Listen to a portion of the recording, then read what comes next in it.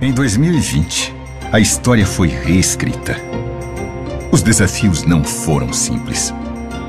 Mas os administradores dos portos brasileiros, as empresas de transporte e os operadores logísticos mostraram competência e eficiência, garantindo o abastecimento do país e das nações amigas.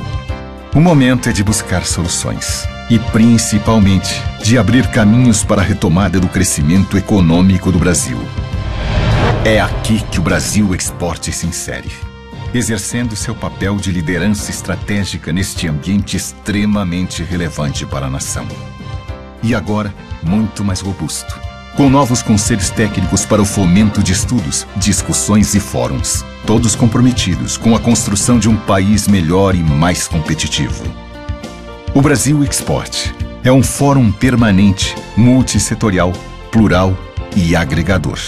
Com atividades durante todo o ano, o fórum conta com importante apoio institucional do Ministério da Infraestrutura e reúne as principais entidades, associações e empresas que atuam no segmento.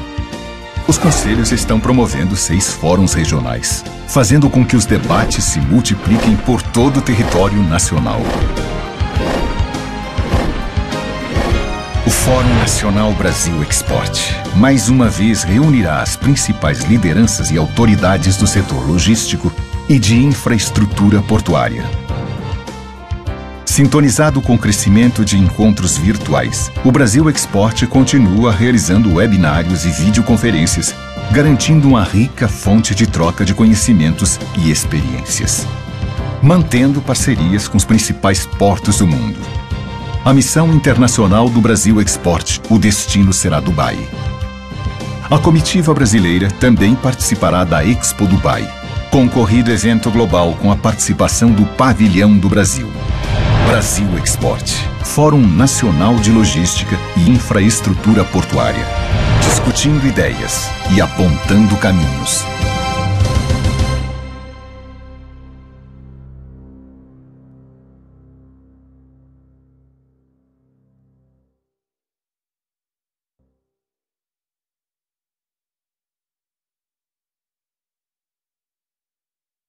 Senhores, sejam bem-vindos ao Brasil Export, Fórum Nacional de Logística e Infraestrutura Portuária.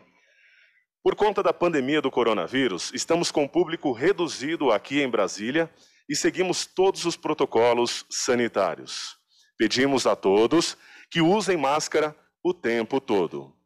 Dentro do Brasil Export, vamos dar início ao segundo ENAP, Encontro Nacional das Autoridades Portuárias e Hidroviárias, transmitido direto aqui de Brasília. O segundo ENAP tem o patrocínio das seguintes marcas. Codeba, Companhia Docas do Estado da Bahia. Coderne, Companhia Docas do Rio Grande do Norte. CDP, Companhia Docas do Pará. CDC, Companhia Docas do Ceará. CDRJ, Companhia Docas do Estado do Rio de Janeiro. Porto de Cabedelo, Companhia Docas da Paraíba.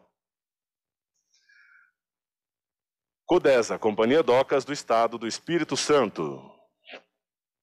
Porto de Vitória. Porto do Itaqui. Portos do Paraná.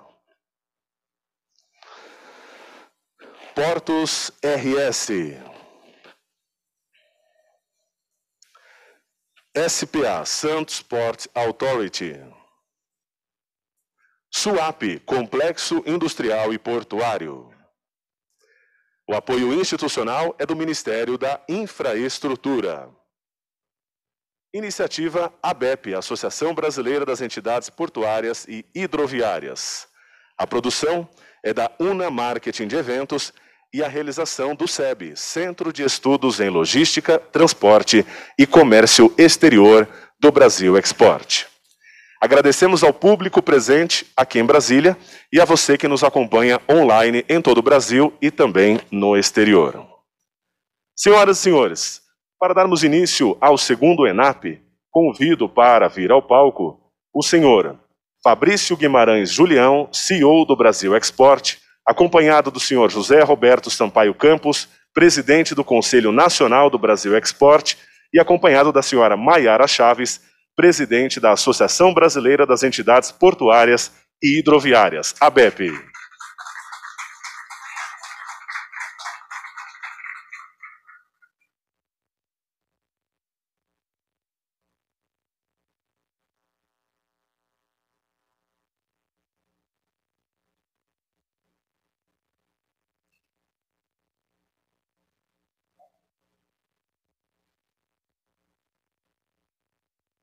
Nossos agradecimentos. Convido para fazer uso da palavra e abertura do segundo ENAP o senhor José Roberto Sampaio Campos, presidente do Conselho Nacional do Brasil Export.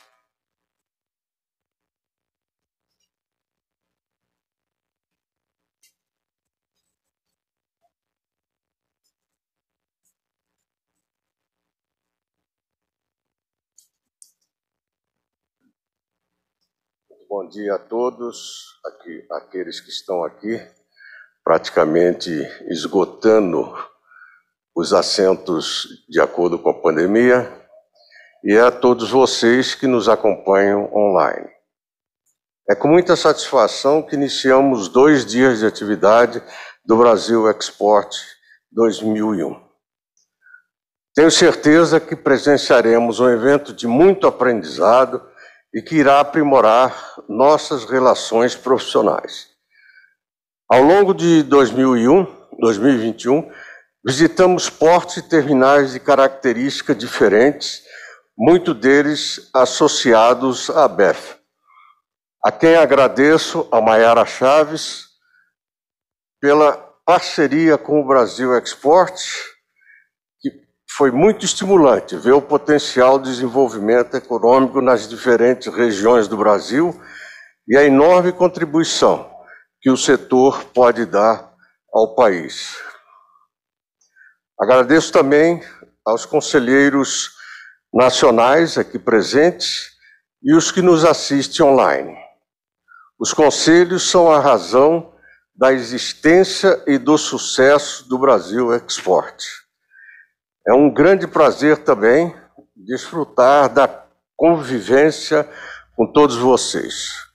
Por fim, todo o meu respeito e admiração aos dirigentes das entidades portuárias e hidroviárias.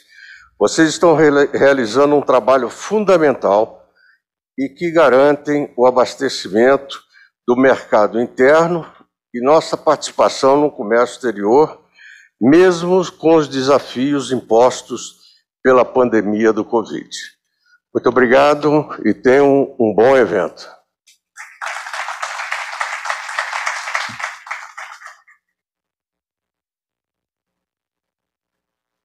Nossos agradecimentos ao senhor José Roberto Sampaio Campos, presidente do Conselho Nacional do Brasil Export. Convido agora para fazer uso da palavra, a senhora Maiara Chaves, presidente da Associação Brasileira das Entidades Portuárias e Hidroviárias, ABEP.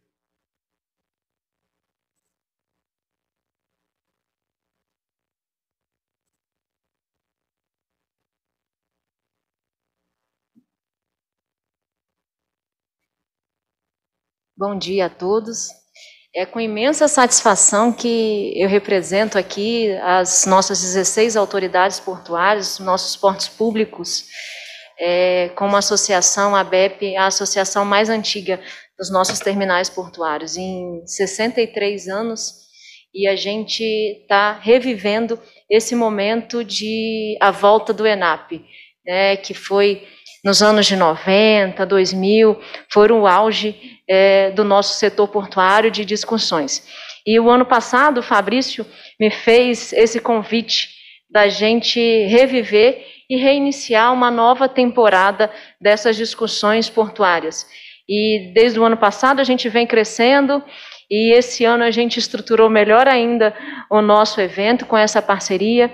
Então, só tenho a agradecer ao Fabrício, ao campus, a todos os meus colegas presidentes do, dos portos públicos que é, confiaram no meu trabalho. Né? É, não é fácil conciliar a vida de presidente de, de companhia DOCAS e de ABEP, mas com o apoio dos colegas, com o apoio de vocês, a gente está conseguindo fazer da ABEP também uma excelente gestão e proporcionando é, alguns benefícios a todos os nossos pontos públicos. Então, só queria agradecer a todos a confiança em mim, Fabrício, ao campus a confiança de fazer essa parceria do ENAP junto com o Brasil Export de estar aqui hoje desenvolvendo esse evento e fazendo essa parceria. Então, muito obrigada e um excelente evento a todos.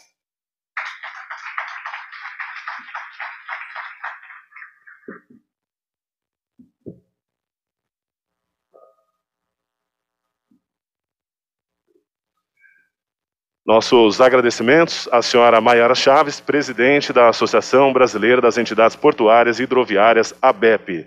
Agradecemos também ao senhor Fabrício Guimarães Julião, CEO do Brasil Export, e ao senhor José Roberto Sampaio Campos, presidente do Conselho Nacional do Brasil Export, que fizeram a abertura deste evento. Convido as autoridades que tomem seus assentos junto ao auditório e dentro de dois minutos daremos início ao primeiro painel de hoje com o tema Escassez de contêineres, aumento dos fretes marítimos e tendência no mercado de navegação. Obrigado.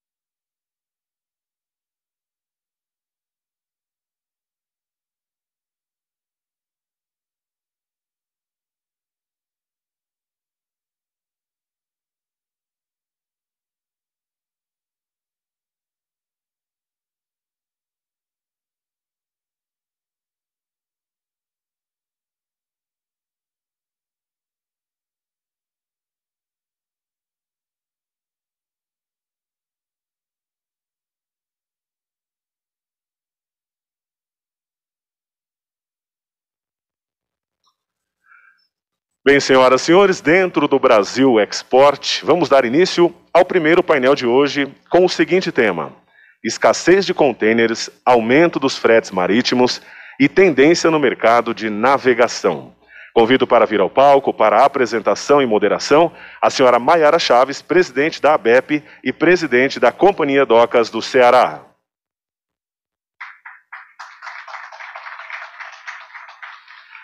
Como debatedores, convido para vir ao palco o senhor Fábio Siquerino, CEO da Deep World Santos.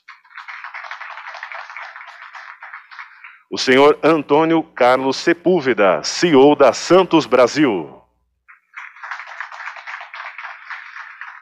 O senhor Fernando Biral, diretor-presidente da Santos Port Authority.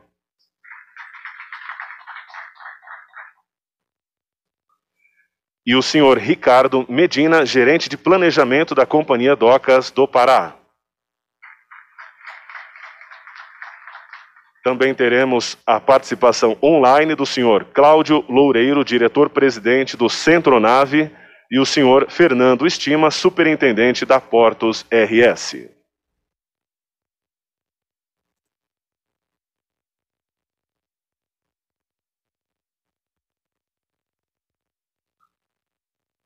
Nossos agradecimentos às autoridades que compõem o palco. Convido para fazer A abertura para sua apresentação e moderação deste painel, a senhora Maiara Chaves.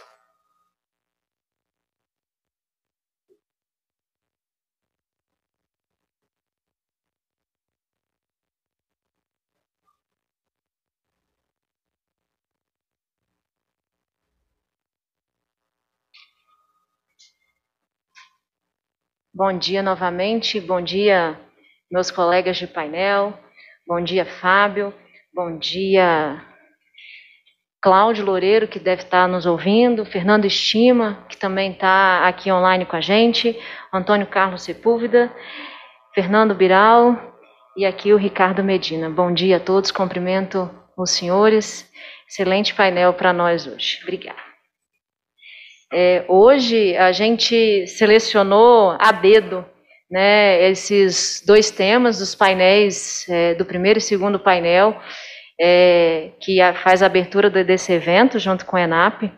Então, era um tema que estava sendo bastante discutido dentro dos nossos grupos, dos regionais, é, fora dos regionais, né, dentro do Conselho Feminino também a gente discutiu bastante, a gente teve várias reportagens divulgadas e a gente quis trazer isso como o tema de abertura inicial para o nosso Senap. Então, o painel 1 é sobre a escassez de container, o aumento dos fretes marítimos e a tendência do mercado de navegação. É, fazendo uma breve introdução, observou que desde julho do ano passado, é, a progressiva retomada da economia em diversos países levou à disparada de encomendas por insumos e mercadorias do comércio exterior, em níveis muito acima, muito elevados das projeções e capacidades logísticas dos nossos armadores e terminais portuários. Grande parte dessas mercadorias se acumularam nos armazéns e portos, principalmente nos portos chineses, onde houveram grande demanda desses produtos, gerando um grande desbalanceamento entre a oferta e a demanda, principalmente é, no, nos contêineres. Os fretes que no mercado spot custavam antes da pandemia cerca de 2 mil dólares, passaram a custar mais de 10 mil dólares por container em notícias recentes. E por falar em notícias recentes, eu trouxe aqui só para é, apimentar um pouco as nossas discussões alguns títulos de notícias recentemente divulgadas é, em alguns sites e alguns jornais. Um exemplo de G1, setembro agora de 2021, crise no mar. Entenda a escassez de contêineres e o que afeta os produtores no mundo todo. BBC News. Como uma das maiores crises no transporte marítimo da história pode afetar o seu bolso. Portal da Indústria. Frete marítimo ultrapassa 10 mil dólares por container e penaliza o comércio brasileiro. Dados apontam que 96% das empresas observaram um aumento nos valores do frete de importação. Então, é, além da, da, pandemia, além de da gente estar trabalhando 24 horas nos nossos portos, sem parar, é, estamos aí considerados como atividade essencial. Além disso tudo, a gente começa a enfrentar uma crise. Né? A gente sabe que o, os fabricantes de container deixaram de fabricar por um tempo, as mercadorias se acumularam e tem uma tendência muito grande é, de desse, desses, desses containers irem para a China. Então, é, com esse mote, a gente começa, eu vou começar com as perguntas, vou voltar para o meu assento e a gente começa o debate e as perguntas.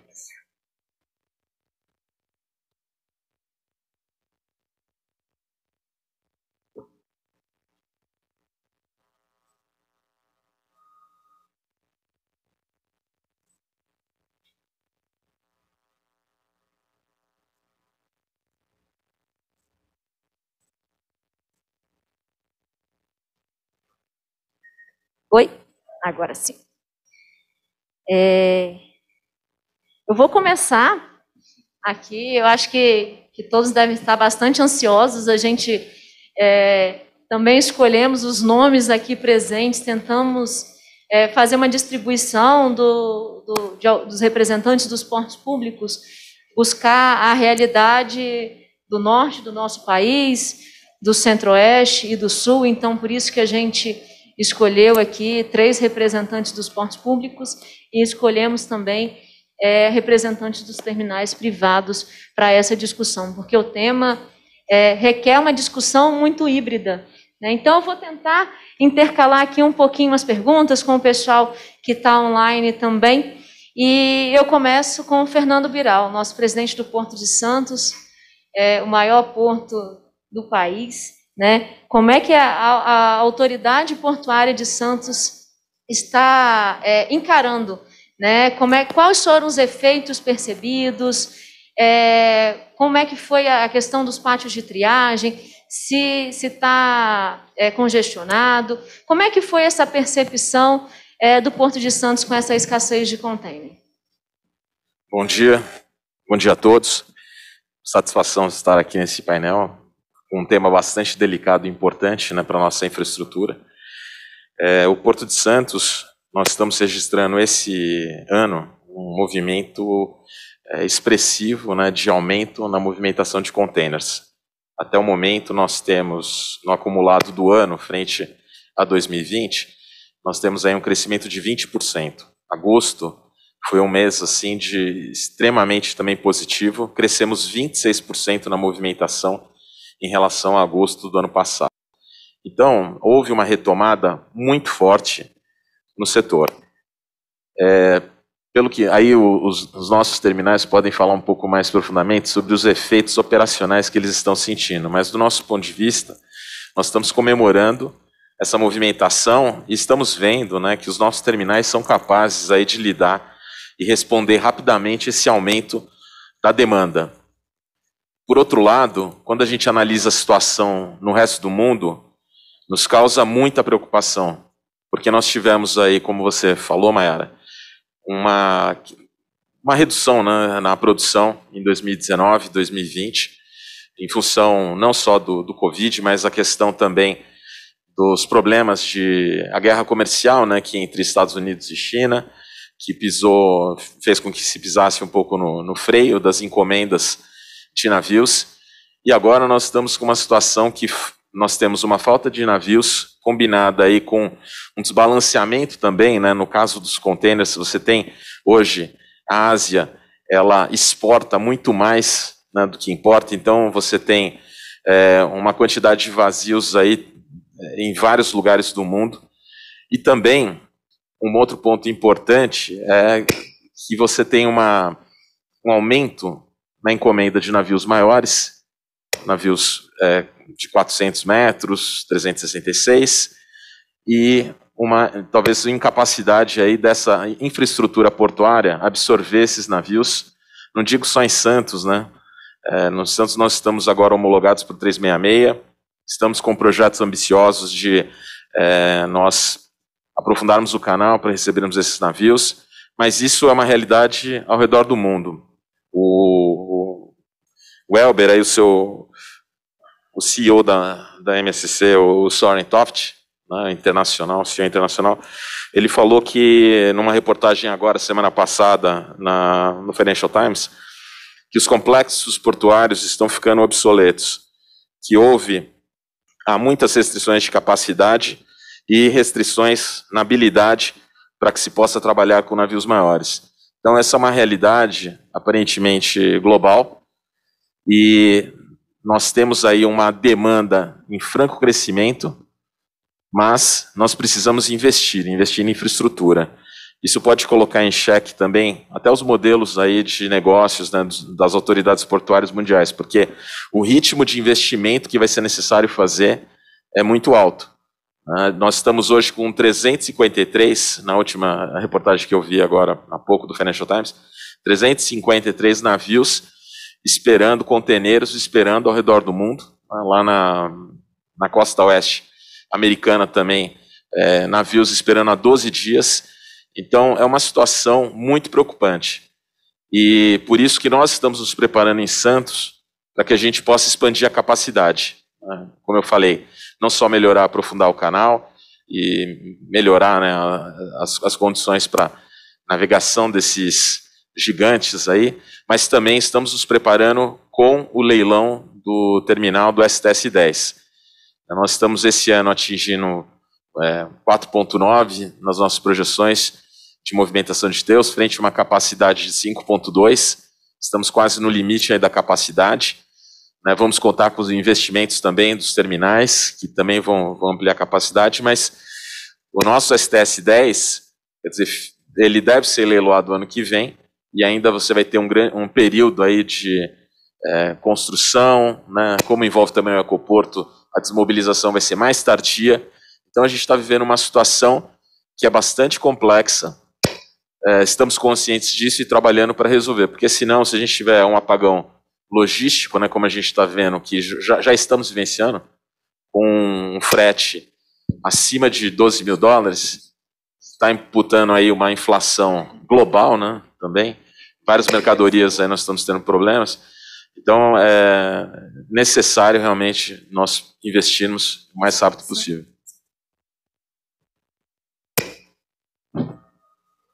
Oi.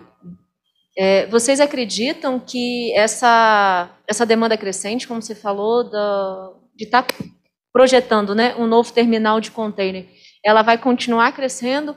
Ou vocês imaginam que vai ser um pico e depois vai voltar às atividades normais? Olha, sim, é difícil prever o futuro, mas nós, estamos, nós tivemos um crescimento anualizado nos últimos desde 2000, de 6,3% em containers em Santos. Então é um crescimento muito expressivo. Mesmo que isso desacelere um pouco, o fato também é que no Brasil nós temos aí uma participação muito baixa no comércio internacional e a nossa tendência é se internacionalizar. Não, acredito que vai ser inexorável isso, não? a não ser que aconteça uma, uma reviravolta aí nos rumos do país. Mas é, nós acreditamos muito no crescimento do, do, dos, dos containers e dos terminais. Obrigada. Oi. Oi.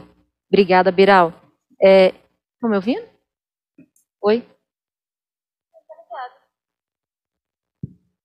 Agora, é, vou chamar aqui para a nossa conversa o Cláudio Loureiro, que está online aqui participando conosco.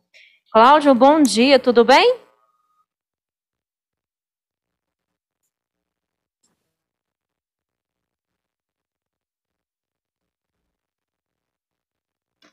Bom dia, Maiara. Bom dia a todos. Obrigado pela oportunidade tão importante para nós. Bom dia, Cláudio. Bom dia, Cláudio. Bom dia. É, vou, vou inserir aqui um outro tema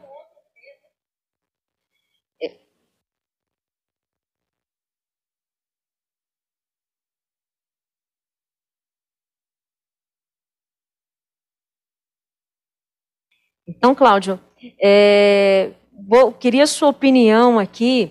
É, essa escassez de container, você acha que é uma questão mais mercadológica ou existem saídas regulatórias? Né? Quais seriam as saídas regulatórias?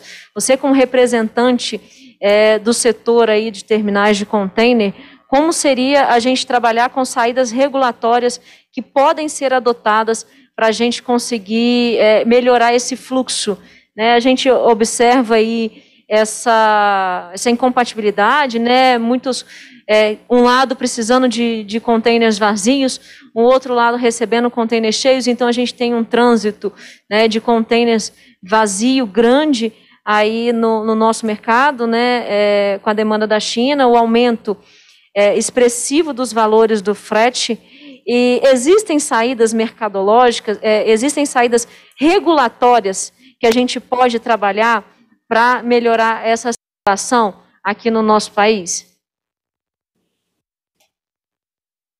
Mayara, vocês é, estão me ouvindo? Ok. É, eu não sou representante dos terminais portuários, sou representante dos armadores. É, e sob esse ponto de vista que eu gostaria de, então, esclarecer alguns aspectos. Em primeiro lugar, é, e colegas de mesa, e, e, e o nosso, nosso público. O, problema que nós estamos enfrentando hoje não é de redução de estoque, propriamente dito, de contêineres ou de navios. O problema que nós estamos enfrentando globalmente, e é muito sério, ele é de circulação ou de fluidez desses ativos. É, Para vocês terem uma ideia, no Transpacífico, entre costa, entre costa oeste dos Estados Unidos e China, um container, um container fazia quatro ciclos anuais, ou seja, ia e voltava quatro vezes por ano, e hoje está fazendo duas vezes e meia, dois, duas vezes. Ou seja, em logística, é, existe uma variável muito importante que é tempo, e não é só a capacidade estática dos ativos. É, isso significa que o problema geral que hoje está acontecendo no mundo não é propriamente de estoque, de capacidade estática, mas sim de capacidade dinâmica. Ou seja, como tudo está girando mais lentamente por conta do congestionamento, nós criamos a percepção de falta de é, ativo, de navios, de contêineres, etc. Embora, em alguns casos, essas coisas tenham, tenham realmente acontecido. Como você citou, e como o doutor Viral também citou, é, em 2020, é, as fábricas de contêiner na China pararam de fabricar em função da crise da Covid. E, por, incrível que pareça, nós no Brasil não fabricamos contêineres. E não é um bem de sofisticação tecnológica que nos impeça de fazer isso os impeditivos são de outra natureza. A China hoje concentra 95% da produção mundial de contêineres. Agora, contudo, desde o final do ano passado, a produção foi retomada em torno de 600 mil unidades mês, e isso gradativamente está repondo ou está aumentando o estoque é, é, é, estático, né, é, para compensar, pelo menos em parte, a perda da velocidade de giro. O que, que os armadores fizeram? Os armadores é, é, é, passaram a fazer reparos antieconômicos nos contêineres, que antes, por exemplo, eram destinados a sucata,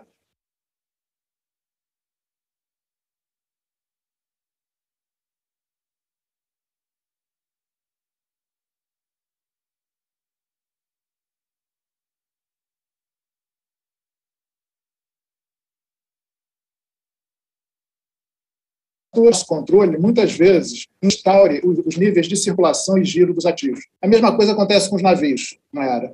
É, nós estamos, como já foi mencionado aqui, nós estamos atrasos absurdos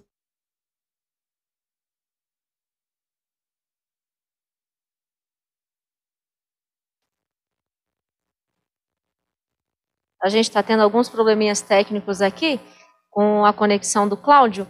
Eu vou passar a pergunta aqui para o Fábio Siqueirino, da Deep World. Né? É, a gente, o Cláudio já estava falando aí dessa capacidade né, logística, capacidade de giro dos containers, é, a quantidade reduzida, é, passando aí de quatro é, vezes ao ano o giro para dois, né? Então a gente tem aí talvez uma, um problema com os nossos com os clientes, né? Então, eu queria ouvir um pouquinho de vocês, é, como vocês estão administrando essas pressões junto aos clientes finais, né, com, atraso, é, com relação ao atraso, os custos associados, essas reduções de escalas, falta de container. Qual a, a avaliação da Deep World quanto aos os impactos comerciais e quanto isso tem moldado a estratégia comercial? Né? Então, a gente queria ver um pouquinho dessa, dessa relação é, da Deep World com o, os clientes finais. Tá ok. É, bom, bom dia a todos. Mayara, é, o, o, que o Cláudio comentou né, de capacidade estática e, e, capacidade dinâmica, isso acontece também com os terminais. Porque hoje a gente tem o, a capacidade do terminal, a capacidade nominal do terminal, ela é medida pela capacidade estática e pela quantidade de giros que a gente dá na carga. Então, o que está acontecendo é similar. Hoje, por exemplo, no nosso terminal, é, mais de 50% dos navios estão chegando fora da janela. Estão chegando atrasados, né? O que acontece é o seguinte, quando você tem um, um, uma, um ETA do navio, né, a data estimada de atracação, o que acontece é que os clientes que têm um determinado quantidade de dias livres para depositar a carga de exportação vão fazendo uso desses dias livres e aí o navio não chega para carregar aquela carga fica ocupando espaço no pátio. Aí na outra semana, o navio atrasou, vai chegando mais carga, chega a carga de importação. Então chega uma hora que você acaba utilizando toda a tua capacidade estática e você corre o risco de colapsar o terminal se você não tomar medidas. Então, algumas medidas a gente tem que tomar, dizer, reduzir dias, é, dias livres, é, é, ter um melhor alinhamento com o armador, quer dizer, você abre o gate somente quando você já tem, é, respeitando os dias livres, mas quando você tem a previsão da atracação do navio real, né, o navio está chegando, não que ele está ainda lá no, no Golfo, está em outro lugar. Então, administrar isso com o exportador que tem as suas necessidades. Hoje em dia, as unidades industriais, elas cada vez mais foram se desfazendo de armazéns, que são áreas não produtivas para eles, né? Tem, significa custo. E ela jogando para fora a armazenagem. Então ele produz, ele precisa do container disponível para estufar o container o mais rápido possível. Se o armador não tem o container, que o Claudio falou é verdade, a gente tem um, um de vazios dentro do terminal, faz reparo, tudo e eles estão reparando muito mais rápido os contêineres para colocar o contêiner no circuito. Então, o cliente retira aquele contêiner quando tem disponível e ele quer depositar a carga dele e tirar da planta dele. E, e isso daí acaba comprometendo toda a cadeia logística. Né? O que nós estamos fazendo é buscando maneiras de aumentar a nossa capacidade estática para dar conta do recebimento de todos os contêineres e até que o fluxo se é, é, é estabilize novamente. Então, com, com a retomada das fábricas de container, a gente imagina que existirão mais container disponível, a gente colo colocando mais container no, no, no, sistema, melhora uma parcela. Mas também tem a questão dos atrasos do navios. Né, que eu sei que não é responsabilidade do armador, a gente opera em 81 terminais pelo mundo, isso está acontecendo no mundo todo. Você tem vários pontos de congestionamento. Né? E a questão do Covid, é, é, ela afeta muito isso, porque às vezes chega um navio com tripulação que foi testada positivo e não opera o navio. E o navio fica parado vários dias em quarentena, compromete todo o ciclo. É, é essa, essa era uma das. Oi. Oi. Essa é que, que eu tinha preparado aqui também com, com relação como é que o mercado está lidando né, com essa questão de, de você ter que ficar 14 dias parado, né, sem operar dentro do, dos, na, do, dos portos né, também. Depois eu vou passar essa pergunta para os nossos terminais aqui, para os nossos portos públicos que administram, que a gente tem é, é uma grande dificuldade, né? Como é que a gente poderia também é, melhorar essa questão é, relacionada ao Covid, né, do, do, da quarentena? Agora, Mayara, um, um, uma coisa que eu, eu queria reforçar aqui é o seguinte: dado o momento que nós estamos vivendo, os terminais estão sofrendo, os armadores estão sofrendo, a carga está sofrendo. Eu acho que é o momento, primeiro, da gente ter informação, né, informação real time do que está acontecendo, e não é o momento de ficar apontando o dedo agora. Eu acho que é o momento de unir todos os players da cadeia, ver como que a gente, em conjunto, pode encontrar uma solução para isso. Com a autoridade portuária, com os terminais, com os armadores, porque senão, na verdade, usualmente, tradicionalmente, o terminal fica no meio da briga. É o exportador batendo no terminal porque você precisa receber minha carga, o armador batendo na gente porque, olha, eu cheguei fora de janela, mas eu preciso atracar imediatamente porque eu não posso acumular atraso. A gente fica numa situação delicada. Eu acho que é o momento de união, né, a gente buscar uma solução em conjunto e ter informação real time. Então, o que o Cláudio está fazendo e todo o trabalho dele, que é um trabalho de hercúleo de ficar é, é, é traze, trazendo a informação do realmente o que está acontecendo, eu acho que é fundamental nesse momento, inclusive para exportadores e importadores. Muito obrigada pela, pela contribuição. É, já que a gente está falando aqui de, de, quarentena de navios, né, é, eu queria perguntar aqui para o Ricardo Medina, que é gerente de planejamento lá do CDP. Né? Ricardo, como é que vocês é, vocês estão adaptando o planejamento de vocês? Teve é, quais foram as ações que a CDP tomou, mais com relação a essa questão de quarentena, né, dos navios? É, a gente sabe que a CDP tem uma grande movimentação na área de granéis, né? E isso interfere também a movimentação dos nossos granéis. E como é que está sendo essa questão é, de quarentena? É, aumento desses prazos, atracação de navios? Como é que o porto está organizando é, em cima dessa questão? É, bom dia, senhores. Bom dia e sempre uma, uma honra participando da Brasil Export. E com relação aos portos do norte, é, lá na CDP nós temos uma, um protocolo que é seguido, que é recomendado pela Anvisa, pela autoridade sanitária. Então, disso, é, infelizmente, eu acredito que isso seja presente em todos os portos, não se pode escapar muito. Então, essa, esse atraso que foi citado aqui pelos colegas, isso realmente começou a fazer parte a partir desse novo momento, desse momento onde um tripulante é, é testado positivo para o Covid-19 e ele tem que sair do, da embarcação, tem que ficar isolado e a embarcação fica parada esperando para também testar os demais e saber o que, que houve para é, é, saber se eles, eles, vão estar ou não liberados para seguirem viagem.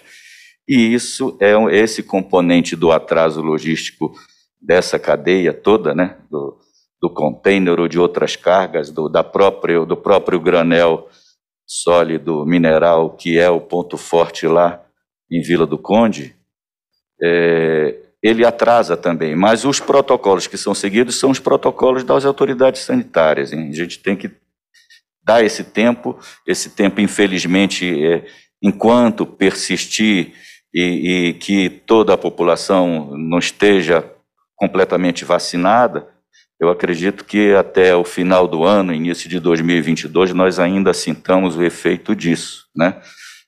E, e falando um pouco do, do até para complementar, que é uma, uma discussão interessante, a do container, é, nós temos em Vila do Conde um movimento crescente de movimentação do container. Então, ano a ano tem sido essa crescente. A gente teve a felicidade de começar esse ciclo lá em 2015, né, quando começou a, a, a, ter esse aumento constante na movimentação de container, e hoje é, você tem uma perspectiva de um crescimento de, de 11% a 15%, onde também, é, por uma característica de ser um, um porto essencialmente exportador, ele acaba é, precisando de containers vazios para estar tá suprindo o, o mercado.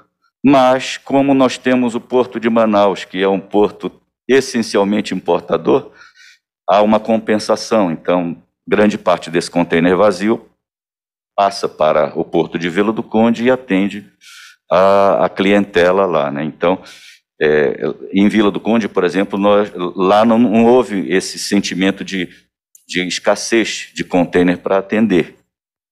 Hoje, né? Hoje. Mas como esse é um movimento, é, como eu estava falando com um amigo ontem, é uma tsunami, onde ele começa num ponto e ele vai atingir todos. Só que pode esse atingir, se quando chegar à Vila do Conde, certamente não será com, com toda aquela potência do início. Mas é, é, a gente tem, felizmente, esse movimento que garante essa, esse equilíbrio na oferta e na procura dos contêineres de Vila do Conde. Obrigada, Ricardo. É, agora eu queria falar com o Fernando Estima. Fernando, está ouvindo a gente? Alto e claro, meu presidente. Alto e claro. Vocês nos escutam aqui? Estima. Estima, você não vê.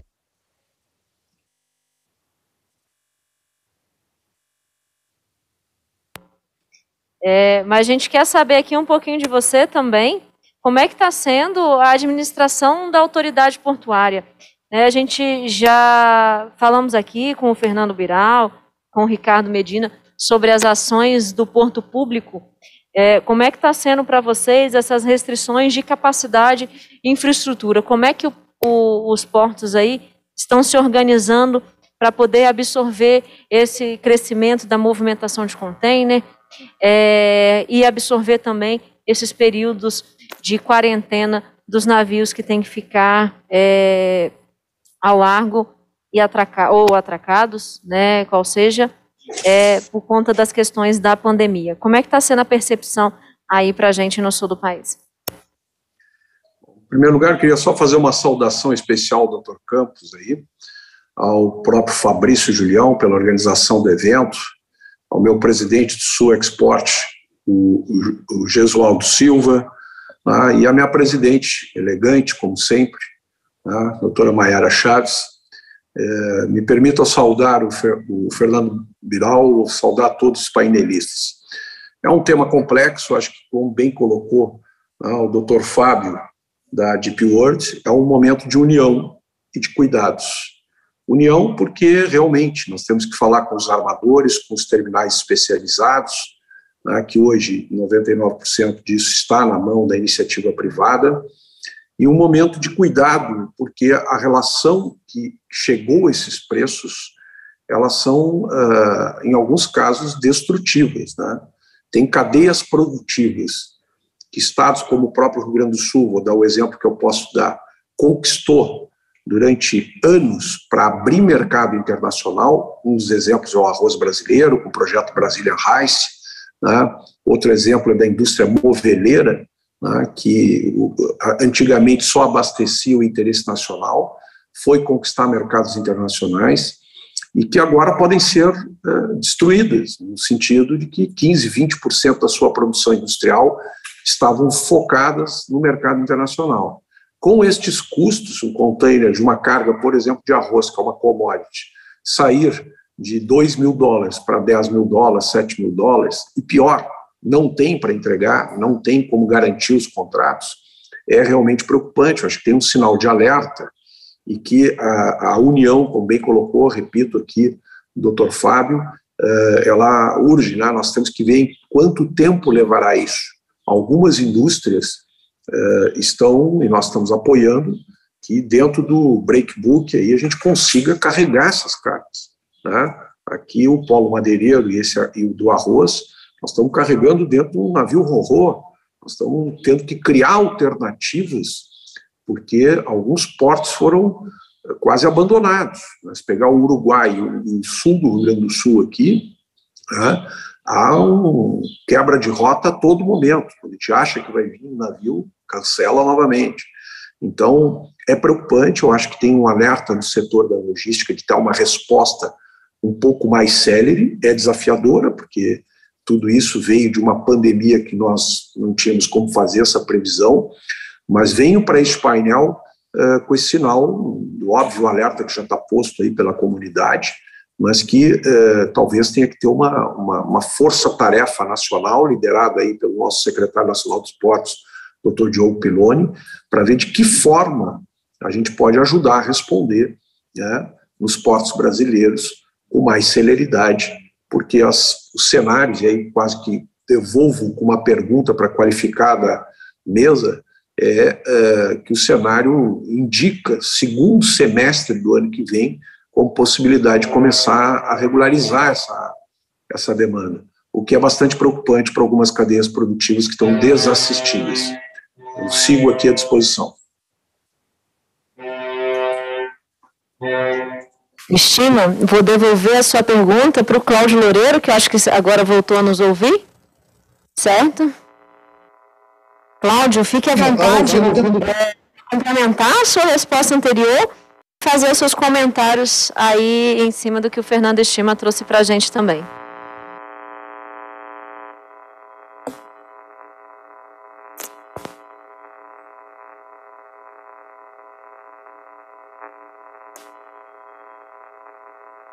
Né? Então, eu vou trazer é, a nossa discussão aqui de volta para a mesa. Né? A gente tem falado aqui como Fábio Siqueirino já citou essas questões da gente se unir, é, a gente tem que trabalhar na comunidade portuária. Né? A gente tem percebido também alguns movimentos, como a IKEA, o Walmart, é, que estão tentando conciliar é, algumas cargas, é, os containers, junto com os granéis sólidos, ou então é, fretando navios é, dedicados a, a, esses produtos, né, a essas empresas. É, isso é uma tendência de mercado? Vocês têm observado isso dentro do terminal de vocês? Ou é uma questão que, é, devido à urgência, se tem tomado essas proporções de tentar conciliar é, cargas container com granel ou é, os próprios navios dedicados a uma empresa exclusiva? Bom, bom dia a todas e a todos. É, Maiara, essa pergunta é muito interessante, muito importante. Eu, eu gostaria antes somente de qualificar melhor o problema. Eu acho que o tempo, assim, até o título do seminário, né, escassez de container, é, ele, ele, ele, ele é muito mais uma febre do que o problema em si, né? É, a gente, se a gente voltar um pouco no tempo, é, a gente lembra aí do começo do ano passado, aquela, assim, os economistas dizendo o PIB vai cair 10%, vai cair 7%, tal, caiu 3,6% o PIB. O que aconteceu é o seguinte, o perfil de consumo mudou. Mudou de serviço, porque as pessoas ficaram em casa, e passou para consumo de bem durável e bens de consumo. E, assim, só para dar um exemplo, ah, quando a gente compara as importações ah, do Transpacífico, Primeiro tri desse ano, primeiro tri do ano passado, o crescimento foi de 40%. Não tem cadeia logística que suporte isso. Quando a gente olha o que acontece é, com o porto de Los Angeles e Long Beach, você teve semana passada, tinha 59 navios de contêiner na barra esperando. Quando você vai avaliar a razão, não faltou navio, não, nem faltou contêiner. Tem contêiner, tem navio. O que não tem é capatazia, não tem caminhão, não tem berço, não tem gente para dobrar nos guindastes. Então, assim, a solução não é eu, eu, eu, me arrisco a dizer que se tivéssemos mais navios e mais contêineres, não mudaria muito. Porque em diversos locais do mundo você tem infraestrutura incompatível com esse pico de demanda, com essa mudança de perfil de consumo no mundo inteiro. Né? É, não bastasse isso, a gente também não pode esquecer que tivemos o problema do canal de Suez. O mundo está com estoque baixo. A gente não conseguiu resolver ainda, resolver o problema, os navios estão passando por Suez, mas aquilo, digamos assim, no ambiente de pressão de consumo, é, aquilo prejudicou muito o fluxo de, de comércio internacional. Né? E aí, aí, o que, é que acontece?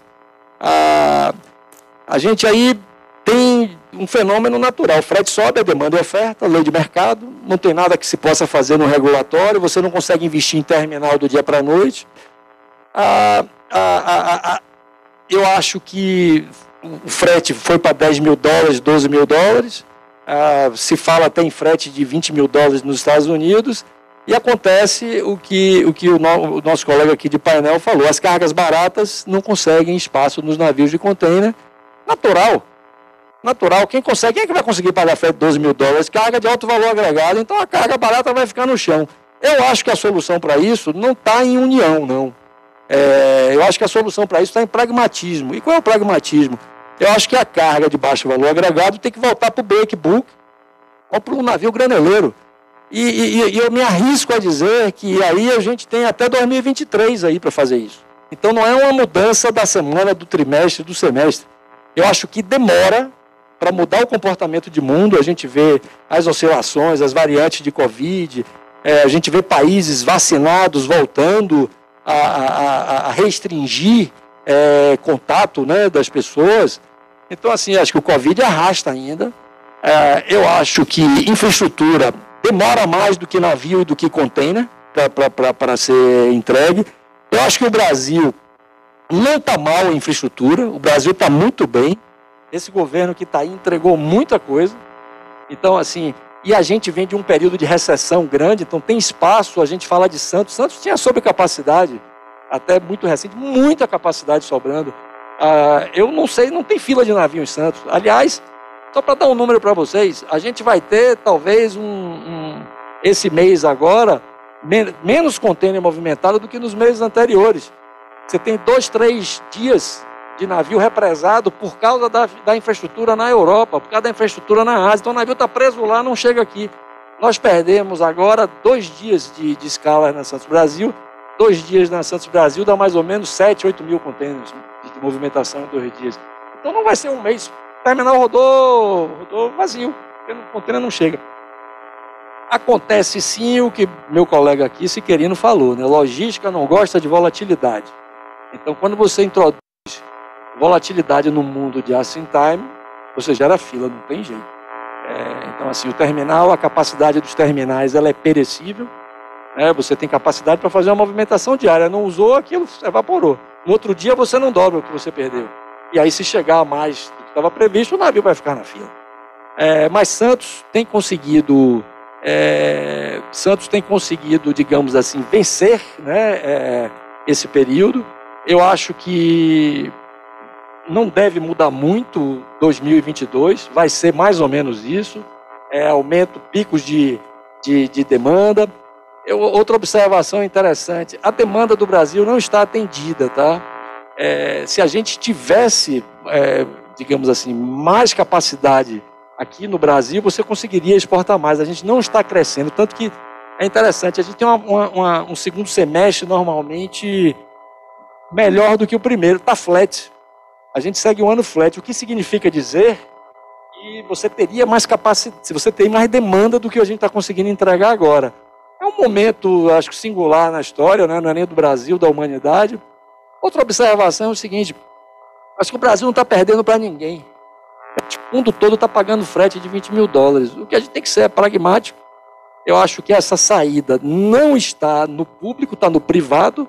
Eu acho que é de rearranjar a forma de transportar carga para não perder mercado. Eu acho que esse é o ponto.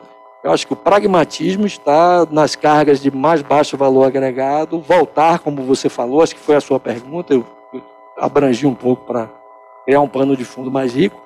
Mas assim, eu acho que é voltar para o break porque não vai ter espaço em container. Você não vai conseguir. E assim, eu diria assim, pelo, pelo que a gente está vendo hoje, é um mundo e 2022 vai ser muito parecido com 21. Eu acho que talvez 23 você consiga reagir a essa mudança no comportamento de consumo do mundo inteiro, né? É, o que você tá, é, a gente vê a mudança de comportamento de consumo muito forte, né? E traz essa necessidade. Hoje, a facilidade de, de compra via internet, a globalização, é, a gente compra um produto chinês e 30 dias depois está aqui no Brasil né?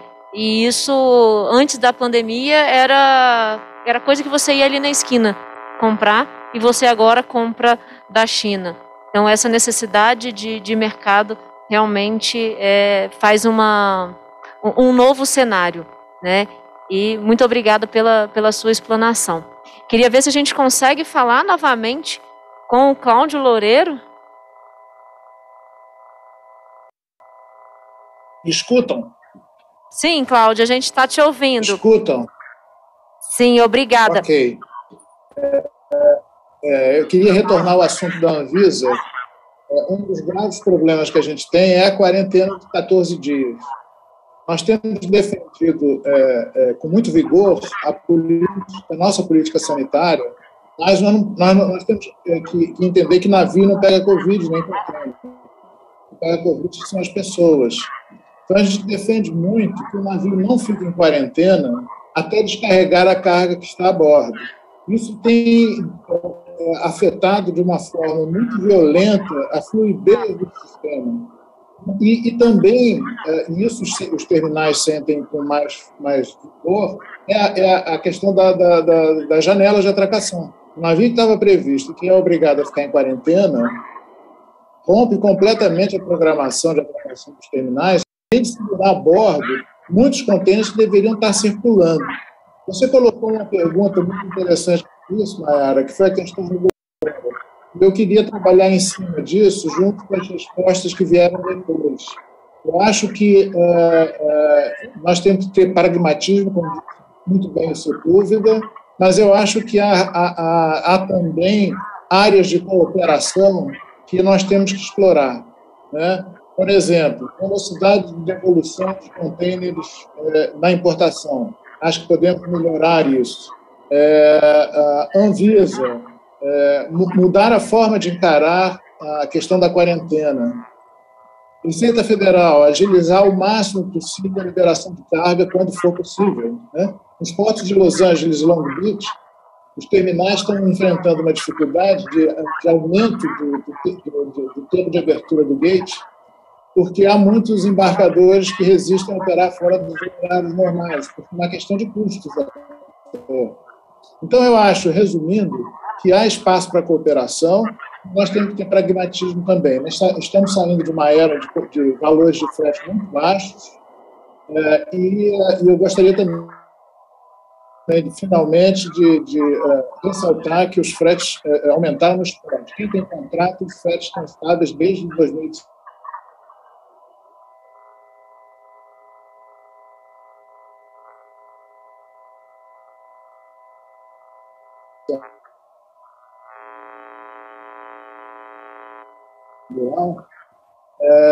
Esse ano, é, o, o, o, volume movimentado de contêineres nos portos aumentou.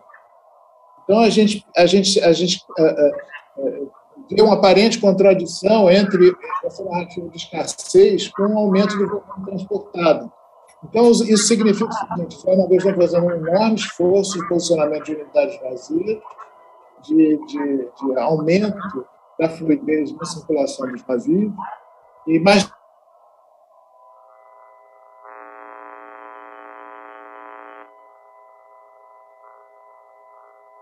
a, questão toda é, é, o travamento da cadeia logística. Eu sei para organização do evento, é, cinco slides, Estados ah. Unidos. A gente está tendo um, uma dificuldade aqui novamente e, de conexão. Mostra a situação nos Estados Unidos. Eu acho que, o Cláudio trouxe aqui um ponto muito interessante para a gente, que vou, vou começar aqui a nossa, a nossa rodada final, só ouvir um pouquinho de vocês, né? Mas eu já tenho dois endereçamentos aqui é, para nós aqui das associações.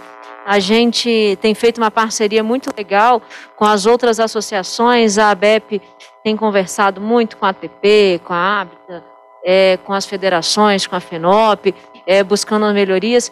Então, eu vou deixar aqui meus colegas fazerem é, a palavra final deles e depois eu queria dar alguns direcionamentos aqui para a gente. Por gentileza, é, vou começar aqui pelo. Por favor. Bom, é, eu acho que assim, a, acho que nós cobrimos esse tema, né, pelos, por diversas visões. A, eu, eu, eu diria que assim o Brasil tá, não está pior preparado do que ninguém para enfrentar é, é, esse momento que a gente está vivendo. A gente tem muito aquele butterfly effect, né, do que está acontecendo na China, reverbera aqui no Brasil. A situação é essa. Eu acho também que os órgãos né, brasileiros, Receita Federal, a evolução da Receita Federal é muito grande. Por isso que não me entendam mal quando eu falo que eu acho que o problema não é falta de cooperação, não. Olha, eu não me recordo aqui de nada que eu tenha ido conversar com o Biral, que eles não tenham sido sensíveis e não tenham contribuído para ajudar. Não me recordo de nada que eu tenha ido para a Receita Federal e que não tenha. Eu respeito o Cláudio quando ele fala de Anvisa, de quarentena, porque o impacto é muito grande. Não tenho, é, a parte da armação eu não conheço, mas na parte de terminal, por isso que é, eu acredito muito que nós temos que ter paciência e, nos casos específicos, tomar decisões assim de, de, de, buscar soluções diferentes. Né? O mundo não é mais o mesmo, a logística não é mais a mesma, as cadeias de suprimento estão obstruídas, o just-in-time foi para o espaço já há muito tempo, isso está trazendo produção para nível local em diversos países. Então, eu acho que é pragmatismo e adaptação. Eu diria que esse é o melhor remédio para a crise que a gente está vivendo. Obrigada, Antônio Carlos. Fábio, por favor. Tá. É, é, eu, assim, sem dúvida, é, o padrão de consumo, essa mudança, é difícil a gente prever se ela retornará ao estado pré-pandemia. Eu acho que criou-se uma, uma maneira diferente de consumir, né? o e-commerce cresceu brutalmente. É, eu acho que em algum momento esse grande crescimento, ou, ou o dinheiro gasto em e-commerce ele vai se reverter para gastos em turismo, e esse tipo de coisa, porque isso está represado. É, a gente ouve agora quando Estados Unidos começar a receber, é, ab abrir as suas fronteiras né, para receber os brasileiros, tudo. Eu não posso imaginar o que, o que será a Disney no final do ano, né?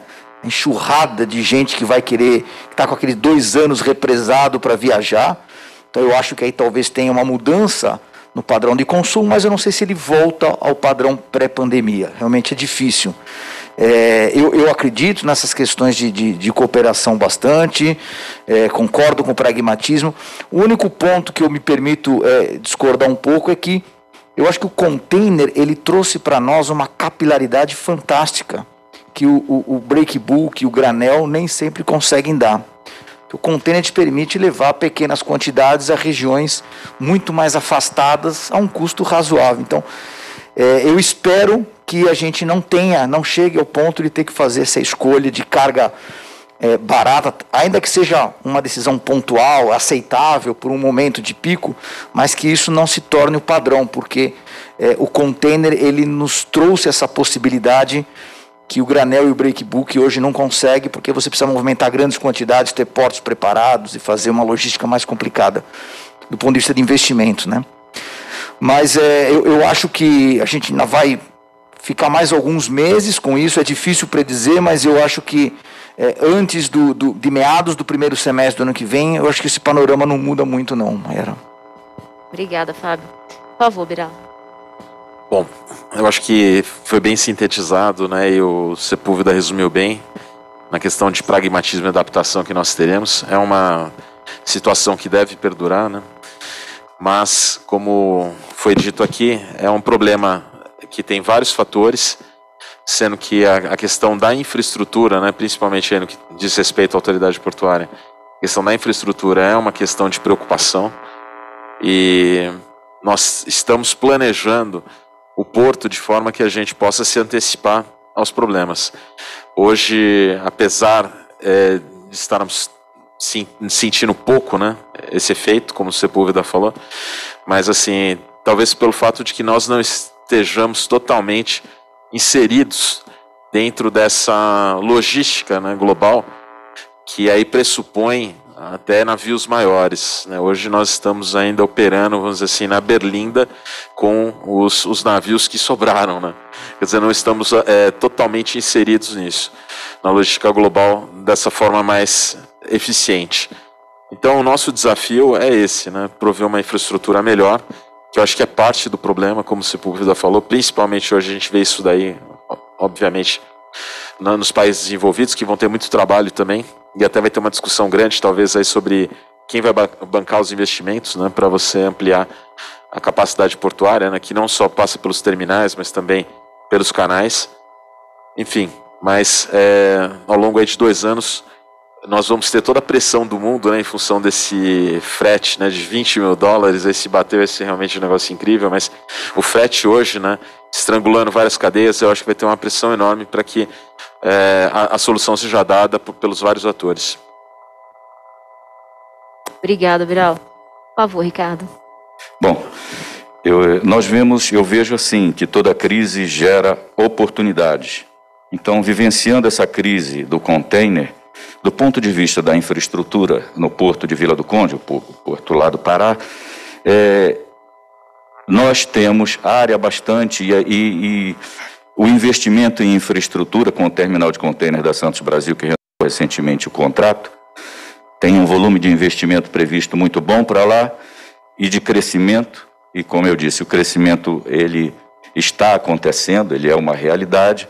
Nós temos o balanceamento, como eu falei ainda há pouco, né, dos portos, seja do Amazonas, que é essencialmente importador, seja de armadores que trazem contêiner do, dos portos do Caribe também para suprir essa, essa carência. Mas também vejo a oportunidade, eu não sei se foi o Cláudio ou se foi o colega painelista que colocou aqui, que uh, os portos, uh, os navios eles faziam um giro de quatro ciclos né, no mundo, e hoje eles fazem dois e meio. Então, a capacidade é, que nós temos de carência é a capacidade dinâmica e não a estática. Porém, você não tira essa capacidade dinâmica em curto prazo, nem em médio, vai ser longo. Então surge a oportunidade de que, quando se falou que as fábricas de containers elas estão essencialmente localizadas na, na Ásia, na China, por que não gerar uma oportunidade para quem quer empreender e, montar uma fábrica de container aqui no Brasil para ter essa facilidade e tentar ver se equaliza as nossas é, essa nossa carência de container. É, como eu disse, a crise, toda crise gera oportunidade. Então, nós vemos isso, a oportunidade da gente ter que fazer é, manobras ou ter é, alternativas para vencê-la. Obrigado, Ricardo. É, eu queria agradecer a participação online dos nossos colegas, do Fernando Estima e do Cláudio Loureiro. Agradecer aqui a presença é, aqui na mesa, junto com os meus colegas. Muito obrigada pela participação. É, o que eu tiro aqui do, do nosso painel é, assim, acho que nós estamos no caminho certo. Né? A gente falou aqui de necessidade de investimentos, de infraestrutura, melhoria de infraestrutura portuária, não só do Brasil, mas no mundo. Né? O, o Brasil tem evoluído muito, nosso querido ministro Tarcísio tem feito um excelente trabalho, principalmente com os programas de arrendamento e concessões portuárias, incentivando e dando mecanismo para nós é, alcançarmos esses nossos objetivos, trazendo essa parceria é, público-privada mais efetivamente para o nosso dia a dia. Então, acho que a gente está bem no caminho certo. É o nosso trabalho como a BEP, a Associação é, dos Terminais dos Portos Públicos, é, incentivar é, e correr atrás desses investimentos portuários públicos. Né? E, tam, e com certeza com a parceria com os nossos terminais privados. É, e um outro ponto que eu acho que a gente precisa é, endereçar né, essa questão da quarentena relacionados é, à Anvisa e a flexibilização desse, desse procedimento. Né? Como o, o Cláudio trouxe para a gente, né, é, quem pega Covid são as pessoas e não o navio e a carga. Né? A gente poderia buscar alguns meios de flexibilização, quem sabe a gente é, desembarca todos os tripulantes, faz, deixa os tripulantes de quarentena e a gente segue com a movimentação de carga com outros tripulantes nos navios, né? Talvez seja uma das alternativas. Então, fica aqui é, uma, uma tarefa de casa que eu acho que a gente pode trabalhar aqui entre os meus colegas aqui das associações, a gente buscar essa conversa com os órgãos intervenientes. Aqui eu falei especificamente de Anvisa, mas eu acho que a gente precisa conversar também, é, talvez numa reunião de Conaportos, a gente tentar é, introduzir esse tema e ver o que, que eles podem trazer para a gente de flexibilização e agilidade é, no desembaraço também das mercadorias. Então, é, eu queria agradecer finalmente aqui ao Conselho Feminino, que apoiou aqui o, o, o nosso, a, as perguntas, né? As perguntas foram todas perguntas de mulheres, tá? São todas perguntas, eu, eu elaborei algumas e pedi apoio às minhas colegas do Conselho Feminino. Então, todas as perguntas aqui foram perguntas femininas para a gente trazer essa discussão do nosso painel. Agradeço aqui a participação de todos e muito obrigada. Um excelente evento. Gilmara, é com você o próximo painel. Boa sorte.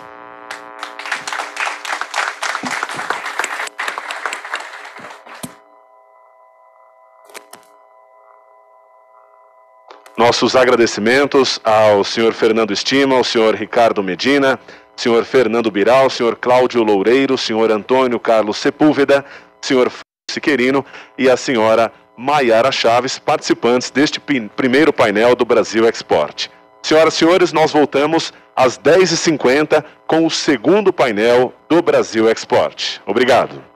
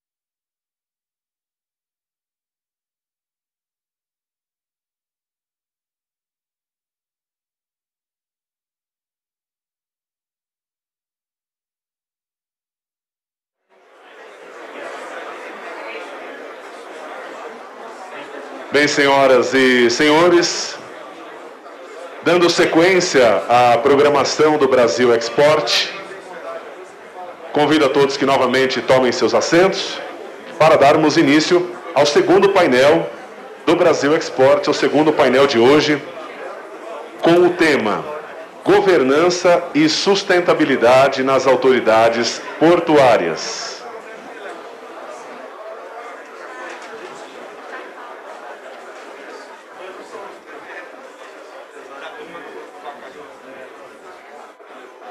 Senhoras e senhores, mais uma vez convido a todos que tomem seus assentos para darmos sequência à nossa programação.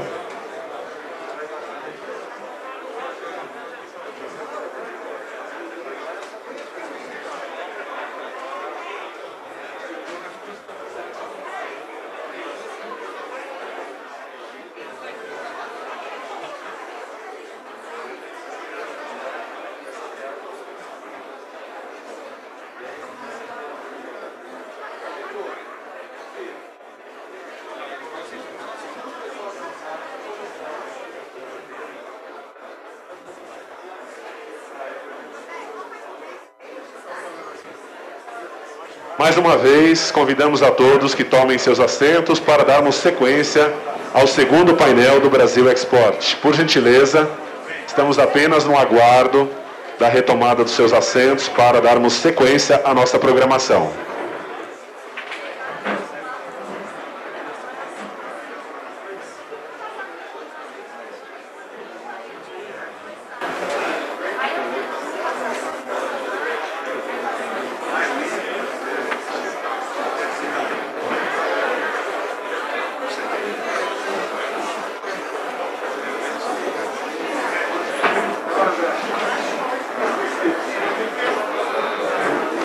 Bom, vamos dar então início ao segundo painel do Brasil Export com o tema Governança e Sustentabilidade nas Autoridades Portuárias.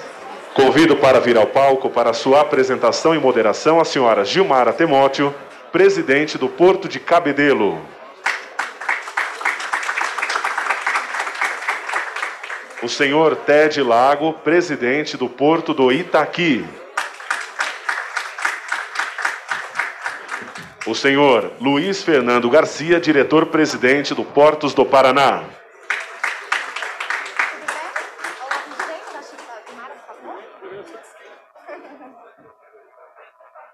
A senhora Fabiana Maranhão, coordenadora de compliance do Porto de Suape. E a senhora Marcela Farias, auditora interna do Porto de Suape. Destaco que as senhoras Fabiana Maranhão e Marcela Farias estão representando o presidente Roberto Guzmão, convidado do ENAP para o painel.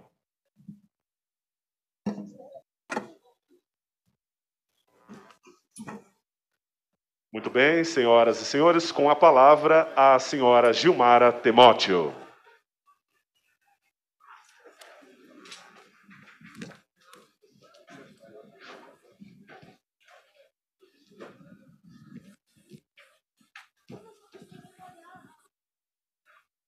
Bom dia, bom dia a todos.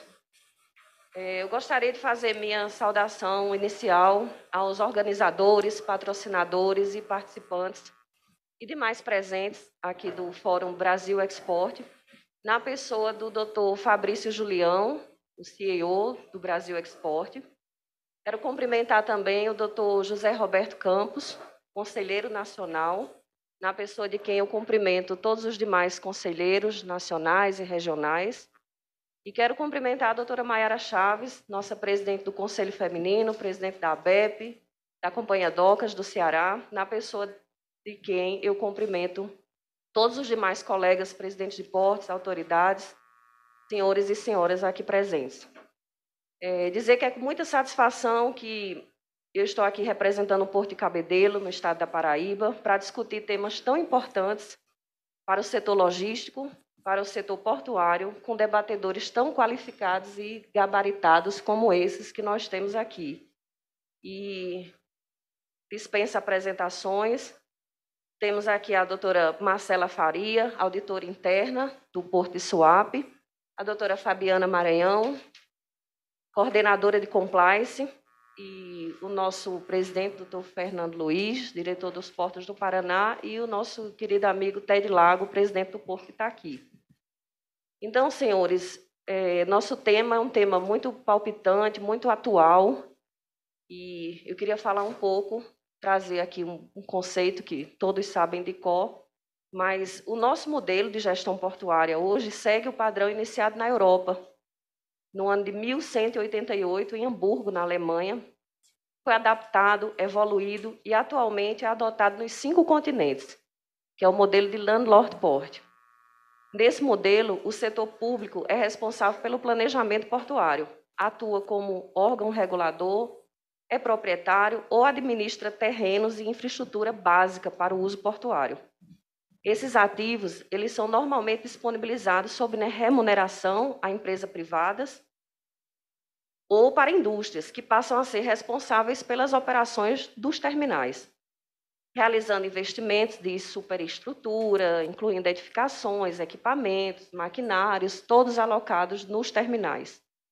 É interessante observar que esse modelo, apesar de tão antigo, tão consolidado, na gestão dos portos, ele segue sendo continuamente reavaliado e repensado. E este é o papel da governança, nosso tema no painel de hoje. A governança ela pode ser definida como um conjunto de relações entre a gestão da empresa, conselho de administração, seus acionistas e outros interessados, os stakeholders. A governança ela representa a estrutura que estabelece os objetivos da gestão, os meios para alcançá-los, a definição de formas, o controle e o acompanhamento do seu desempenho. Neste sentido, a governança nas autoridades portuárias é um conjunto de regras, regulamentos, políticas que envolve os setores público e privado, integrantes do porto organizado com vista ao controle e à consecução dos seus objetivos. Antes de dar início ao debate, é importante atentar para os rumos que vêm sendo desenhados no setor registrados em pequenas coletas, pesquisas, desde a década de 1970, entre mais de 26 países, que chamam a atenção por terem se generalizado. E eu vou ler e citar alguns deles para os senhores, cuja fonte é a ISPO, a Organização dos Portos Marítimos da Europa. Tá? Em primeiro lugar, é pública a maioria das autoridades portuárias. A quase totalidade está sob a sua administração municipal ou estadual. As operações são majoritariamente privadas, as poucas exceções são de pequenos portos.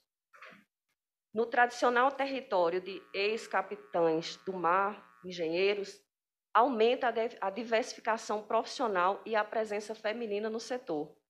Estamos nós aqui, algumas mulheres presentes, representando e comprovando esse contexto.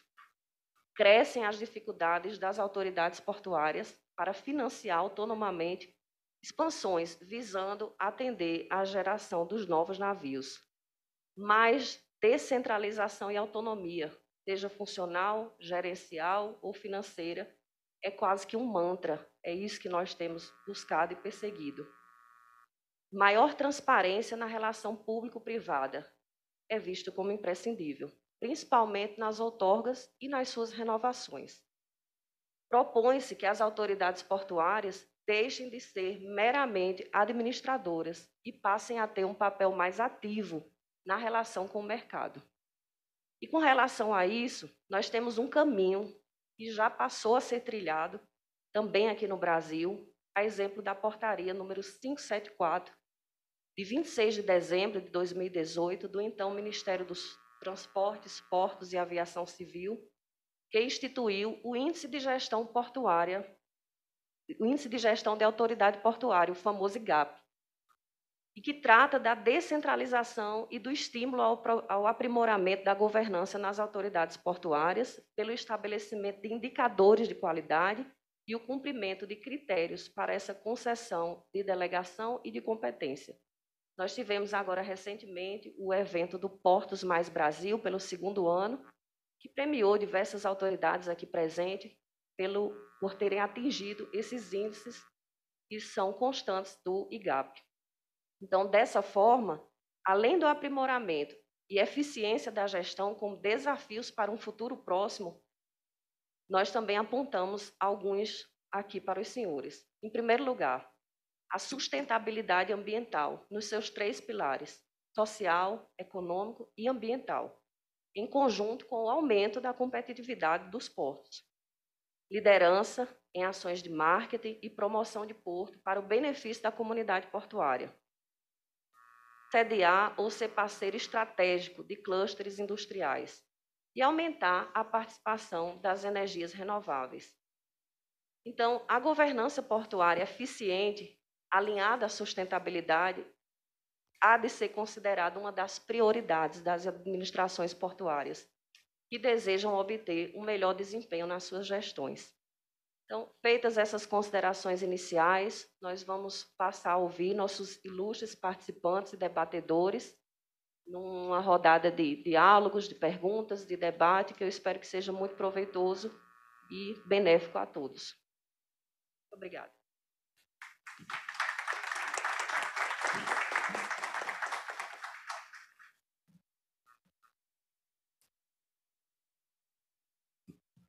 Bom, senhores, é, dando continuidade ao nosso tema, ao nosso painel, nosso segundo painel, na manhã de hoje, nesse evento tão importante para todos do setor, eu queria dar início às perguntas e ao debate, para que a gente possa dar continuidade e iniciando, prestigiando as mulheres presentes aqui no, no palco, eu gostaria de iniciar com as doutoras Marcela Farias já apresentada, a auditora interna do Porto de Suape, a doutora Fabiana Maranhão, coordenadora de compliance do Porto de Suape, que aqui representam o nosso querido presidente, o doutor Roberto Guzmão. Vejam que aqui nós temos dois portos do Nordeste, um Porto Sul, exatamente para que a gente possa dar um, uma balançada nesse tema, trazer sugestões, trazer ideias, inovações para contribuir para o segmento de uma forma geral. Então, em primeiro lugar, as meninas fiquem à vontade para responderem. É, alguém que possa se habilitar ao tema, mas a gente gostaria de perguntar inicialmente de que forma os conceitos de governança estão contribuindo para que o SUAP execute as suas estratégias e atinja as suas metas. Fique à vontade, uma, alguém que queira responder. Bom dia. Gostaria de agradecer pelo convite dizer que é uma honra participar deste evento. Trazemos a experiência de SWAP com relação à contribuição da governança para a estratégia. SWAP iniciou fazendo seu planejamento estratégico 2017 até 2023. Em seguida, constituímos todos os conselhos e comitês. Hoje a gente tem funcionando a Assembleia Geral, Conselho de Administração, Conselho Fiscal, Comitê de Auditoria, Comitê de Elegibilidade e Conselho de Autoridade Portuária.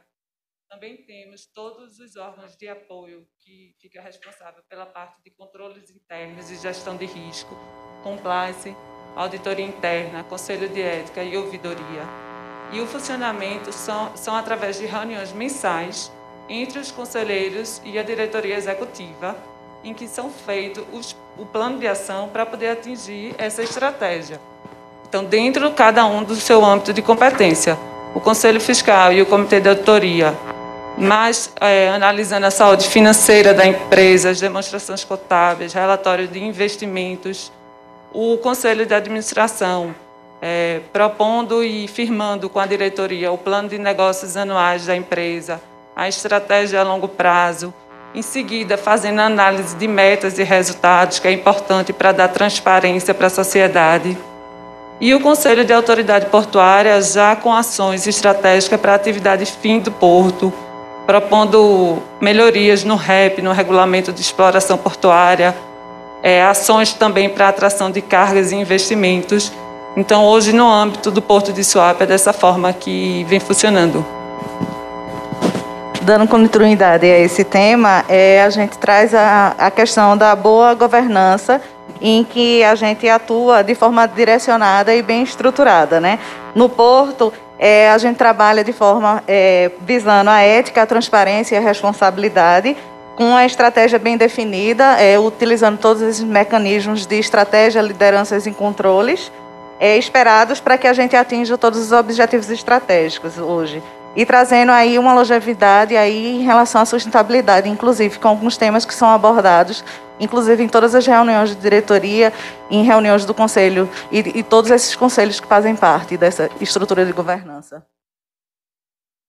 Bom, não é à toa que o Porto de Suape é um porto de grande destaque na região Nordeste, no país. Né? Com essas informações, a gente é, percebe esse, esse detalhamento, essa estruturação tão bem definida, que com certeza traz resultados muito positivos e crescentes para o, o Porto de Suape.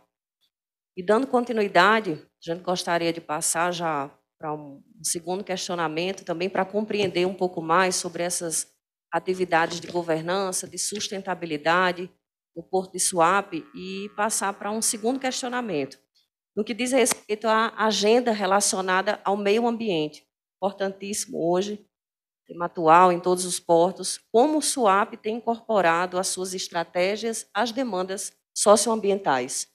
Estruturalmente, nós temos várias reuniões que tratam do assunto. Recentemente, o SUAP fez adesão do Pacto Global, fazendo aí toda essa agenda relacionada a ações eh, de cunho social e, e ambiental, para que a gente atinja todos esses objetivos traçados aí no planejamento estratégico de SUAP. É, faz parte do, de, dos valores de SUAP trazer exatamente à tona todos esses, esses assuntos e o Conselho atua inclusive é, fortemente com temas relacionados, trabalhando inclusive para a parte de certificação de vários itens, para que a gente atenda aí todo esse objetivo em relação à sustentabilidade. Complementando, a estratégia é algo imutável, né? ela precisa ser, ao contrário, revisitada e atualizada sempre, para que haja um alinhamento entre os interesses da empresa, da sociedade. Alô? Então, eu trouxe alguns exemplos de ações que foram sendo incorporadas. SWAP começou divulgando um relatório de sustentabilidade, evoluiu, publicou nos moldes do relato integrado. Próximo ano vamos fazer nos moldes do GRI. É, submetemos o, estamos com ações estratégicas para certificar o nosso sistema de gestão integrada da qualidade do meio ambiente e de responsabilidade social é, obtendo, visando obter a certificação na ISO 9000, na 14000 e na 16000. Então, sempre é bom estar revisitando nessas reuniões entre conselheiros e diretores para que sejam atualizadas e alinhados os interesses. Bom, eu particularmente conheço o Porto de Suape já de alguns anos da atividade portuária, já fiz visitas realmente essa, essa missão, essa meta, ela é muito, muito plausível, muito visível e o que a gente vê é um resultado muito positivo. É, queria dar continuidade, passar agora para a gente conhecer um pouco das estratégias desenvolvidas nos portos do Paraná, com o nosso presidente aqui, o Luiz Fernando Garcia. E já passar direto para a pergunta, Luiz Fernando, é, quais são as práticas que os portos do Paraná estão implementando para o pleno estabelecimento da governança portuária? Bom, bom dia, doutora Mara, bom dia a todos, em especial nossa presidente Maiara Chaves, que em conjunto aí com o nosso amigo Fabrício Julião, promovem a segunda ENAP dentro desse fórum tão importante que, que, que se tornou o Brasil Export, com todas as suas regionais, e é um momento de é, de bons debates, né? Isso a gente já vem discutindo desde o ano passado, esse ano com as regionais, e agora a gente entra num tema é, de suma importância. Estar aqui é, falando hoje sobre governança, tendo o, o, Porto de Suape e o Porto de Itaqui, acho que o Porto de Itaqui é a nossa referência desde sempre, antes da Lei 13303, que, que obrigou as empresas a adotarem as suas políticas de governança, Itaqui já estava avançado. Então, sempre foi o nosso espelho para que a gente busque essas melhores práticas.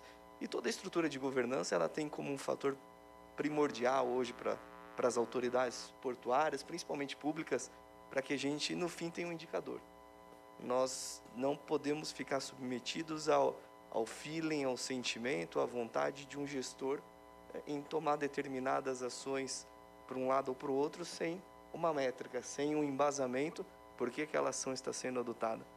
Nos portos do Paraná a gente já viu de tudo, é, das, das ideias mais brilhantes às mais estapafúrdias é, tomadas pelos gestores. E muito pelo feeling. Pelo feeling e num porto onde a 400 quilômetros Santos está tá respirando ali no nosso cangote. Os portos catarinenses a 200 quilômetros. É, qualquer erro leva a um deslocamento da matriz logística. Então, a, as estruturas adotadas hoje pela empresa Portos do Paraná, é, pelo governo do estado do Paraná como um todo, nesse, nesse aspecto de, de governança, são interessantes. Então, nós passamos no ano passado é, por uma mudança na estrutura organizacional da empresa, pela Assembleia Legislativa do Estado do Paraná, onde a gente atualizou por completo todas as funções, organogramas da companhia. Ficamos estruturados como uma empresa de ponta. E ato seguinte, nós contratamos uma empresa especialista nessa área de governança, também que já adotou é, práticas no Porto de Pecém, principalmente, acho que o último grande trabalho deles no setor portuário foi no Porto de a, a Publix, uma empresa aqui de Brasília, onde ela estudou todos os nossos processos, todos os nossos desenhos, e ali a gente conseguiu entender é, como funcionávamos, em alguns aspectos muito bem, em outros péssimo. Então a gente tem uma visão de fora, com alguém com experiência no setor portuário, entendendo que a companhia ela precisava ser readequada.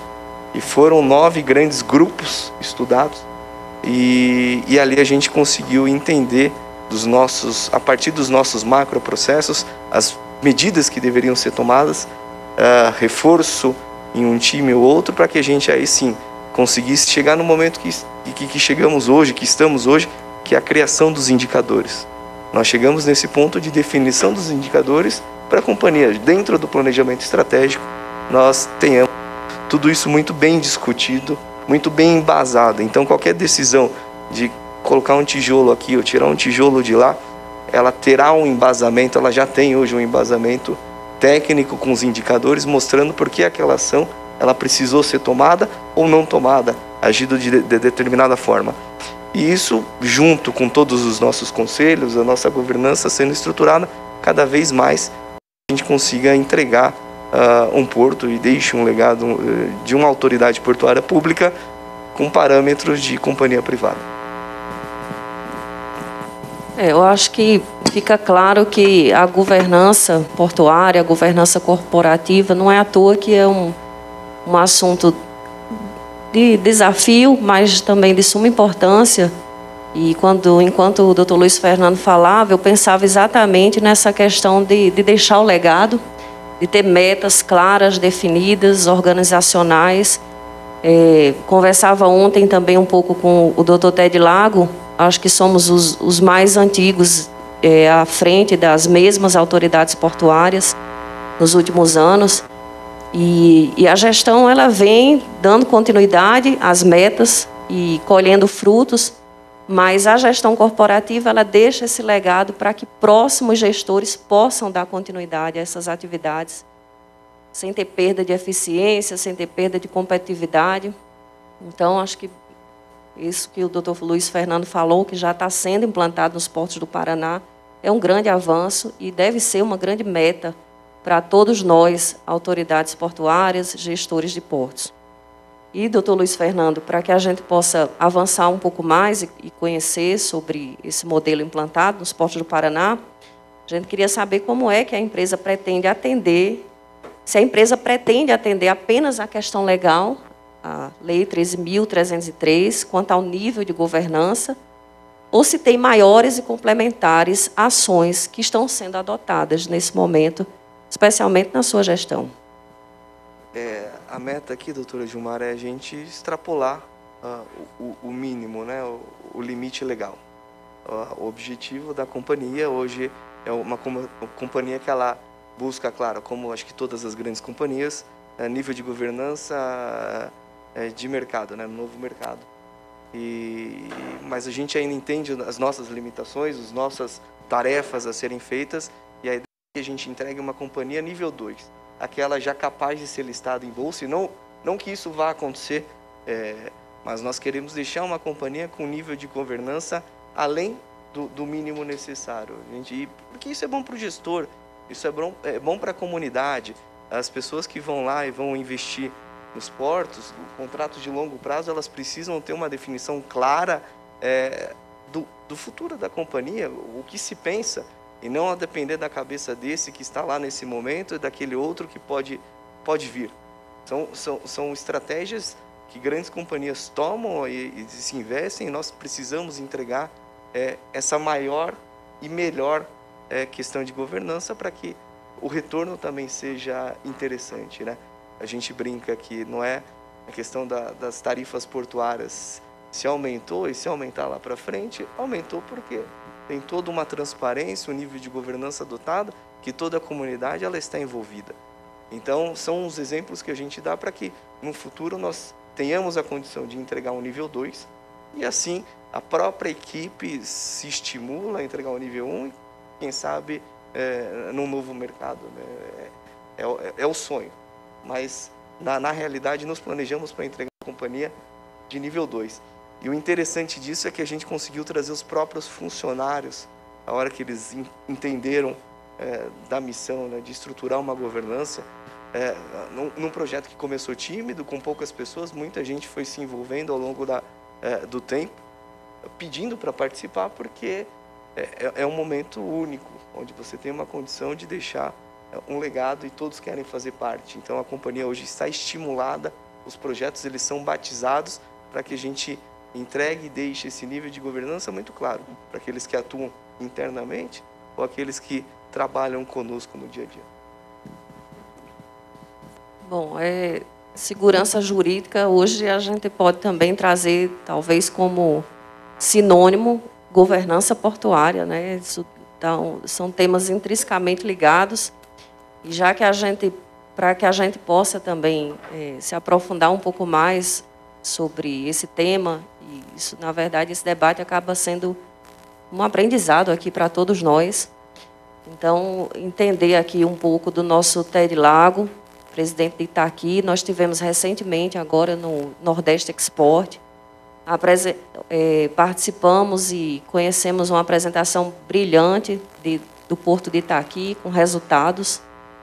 Né, e quem acompanha o setor, a gente, a gente sabe como é que funciona. Então, perguntar diretamente aqui para o TED como funciona o atual modelo de gestão do Porto de Itaqui e qual é o processo para que o planejamento estratégico se converta em indicadores de resultado. Obrigado, saúde a todos, é, presidente Gilmar. É, primeiro, agradeço as palavras também. Né? Então, para nós, é um, é um, nos incentiva a, a, buscar sempre melhoria quando temos postos como Paranaguá, Suape, Cabedelo e outros aqui tantos que nos ajudam a buscar esses resultados. E eu aproveito o do presidente Maiara, né? o papel da BEP também na troca de experiências e informações. Hoje é diário, literalmente diário nós trocamos dentro do nosso grupo de WhatsApp informações, visitas, nós nos visitamos mutuamente aqui. Então, é, o, a, o, crescimento ele é exatamente fruto desse diálogo. Né? Eu, eu, me permito dar uma, uma, breve viagem no tempo, voltando a 2014, né? quando então, o governador eleito, Flávio Dino, nós somos um porto estadual, sob gestão do governo do Estado, né? me fez o convite para assumir o Porto de Itaqui. Né? Então, ele tinha uma visão é, fundamental do papel do porto para o desenvolvimento do Estado, vetor de atração de negócios, investimentos, e me deu uma, uma coisa fundamental, autonomia. Né? Montar equipe, uma equipe técnica, buscar os melhores profissionais do setor e, a partir daí, buscar é, uma gestão por resultado. Então, acho que foi esse o passo fundamental, né? E essa continuidade, é, apesar de sermos os mais antigos, somos os mais jovens também, né, de todos os presentes postos, então a juventude nos ajuda. E o primeiro passo que eu dei ainda na transição foi exatamente ouvir os atores, né? ouvir, um, entender o complexo, literalmente, que é um complexo portuário, operadores, arrendatários, OGM. Então, ainda em 2014, eu, eu fiz um diagnóstico do porto baseado nas demandas e necessidades daqueles que estão no dia a dia do porto. Então, acho que esse foi o primeiro passo importante. Né? É, equipe boa, entramos com poucas pessoas, reconhecemos os profissionais que já, que já estavam lá, né? Mas temos uma visão um pouco diferente. Né? É, a visão que nós encontramos é que o Porto Itaqui seria, se não me engano, até 2023 ou até 2025, estaria entre os 10 maiores portos do mundo, né? com mais de 100 milhões de toneladas por ano de movimentação.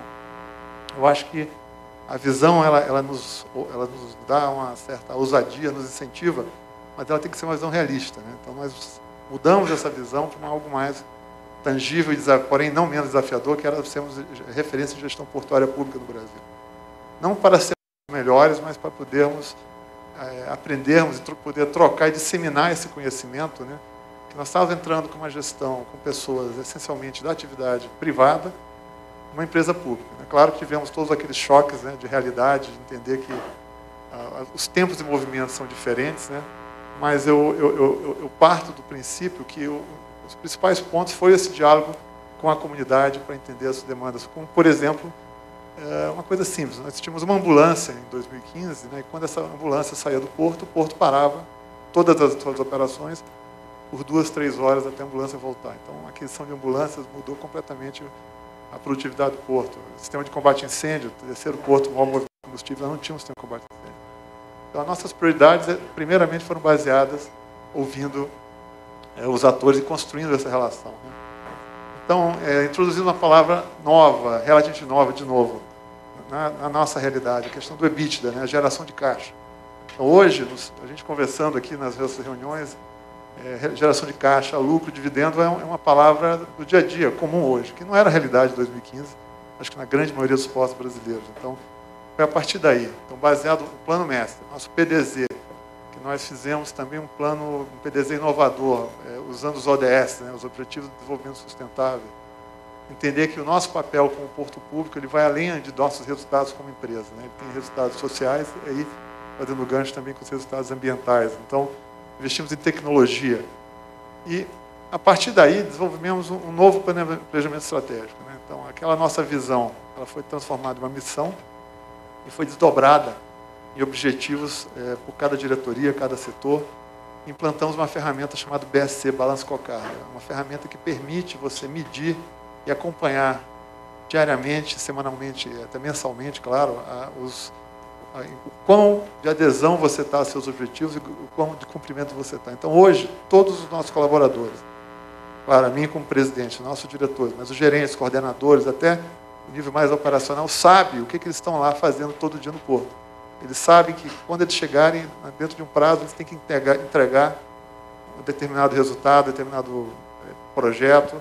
Então, isso ajuda muito essa, essa coesão e essa, essa união em torno de um, um resultado tangível e mensurável. Então, nós temos hoje um sistema de gestão à vista, vem outra palavra, transparência, ou seja, é, esses resultados estão nas paredes do posto, estão nos nossos sistemas, estão abertos, muitos deles, no nosso, nosso site, então a gente consegue acompanhar da transparência a esses resultados. Né? E, é, suplementando isso, a questão da política de compliance e integridade também. Né? Então, ainda em 2015, 2016, tentando aprender, muitas boa parte das empresas que atuam no nosso porto, também nos nossos portos, são grandes grupos é, maduros, experientes. Então, nós aprendemos muito também com essas empresas, né, em política de, de compliance, integridade, e nós fortalecemos isso. A, a 13.303 veio muito ajudar isso, né, você organizar e formalizar esses, setores de compliance. Então, ela, ela, ela ajudou muito nisso. E, e, temos um papel importante das nossas certificações. Né? A doutora Gilmara pega no meu pé, porque eu sou ISO 1 milhão e 899 mil, né? mas nós tínhamos um modelo da ISO 9000 já implantado, né? nós refizemos a nossa, nossa ISO na versão 2015, que impõe a gestão de risco. Né? Você começa a mapear os riscos do negócio, não os riscos operacionais de, do dia a dia, mas riscos de continuidade do negócio. Né? E a partir desse mapeamento, nós conseguimos desenvolver uma série de ferramentas é, do entender qual é o papel da autoridade portuária, por exemplo, no nosso caso, é nos negócios dos senhores e das senhoras. Né? O que, que um, um gargalo nosso, o que, que um problema no nosso sistema de TI pode gerar na operação. Então, isso gerou, é, fizemos o 9001, a, a 27001, que é a, de segurança da informação, foi uma consequência disso. Hoje nós temos cerca de 3 a 4 mil ataques é, cibernéticos de grande impacto no nosso sistema, mas nós conseguimos é, trabalhar normalmente com isso. Não falo nem dos ataques diários, né, do dia a dia, mas aqueles que realmente poderiam causar uma paralisação no nosso sistema. E nós também entramos, agora dando mais destaque, na questão ambiental. Então, nós temos três pilares da nossa governança. Um é a qualidade, a segurança das pessoas e das operações e a gestão ambiental. Então, nós certificamos isso, a 9001 cobre a parte da qualidade, a 14 mil cobre a parte de procedimentos da área de segurança, estamos agora concluindo a 45 mil, que é exatamente saúde e segurança do trabalho. Mas por que isso? Primeiro, é, é a certificação ser consequência do que a gente faz todo dia. Nós tivemos a recertificação da 14 mil e ela não é um fim em si, ela é a consequência do que a gente faz todo dia. Esse é o nosso destaque. O segundo ponto, é, lá voltando a 2014, quando o governador, então eleito, fez o convite, ele falou: Nossa, nós, nós somos transitórios aqui, nós somos temporários. Nós temos pouco, pouco tempo para fazer a mudança que nós queremos. Então, pensa nisso também. Então, a certificação, ela facilita muito essa continuidade né, de quem vai dar, passar após mim. Eu estou próximo de passar o bastão para outra gestão, breve aí, mas quem chegar, independente de, do perfil, ele já vai encontrar o dia a dia do porto, né, digamos assim, um piloto automático no bom sentido. Você tem toda a parte de procedimentos mapeados, de foco em resultado. Então, claro que a partir daí você pode promover melhorias, né? Então, ele é, dá uma estabilidade, principalmente para os atores privados que estão no porto. Né? Você não pode ter grandes mudanças de porque eu quero, porque eu gosto, que é tão comum na gestão pública. Né? Então, eu acho que eu incentivo os colegas a fazer isso, no sentido de você ter uma, uma padronização, uma normatização e uma, um dia a dia mais fácil, porque você tem maior previsibilidade daquilo que você está fazendo. Então, eu, eu, eu pontuo mais ou menos nessa primeira rodada de perguntas sobre isso.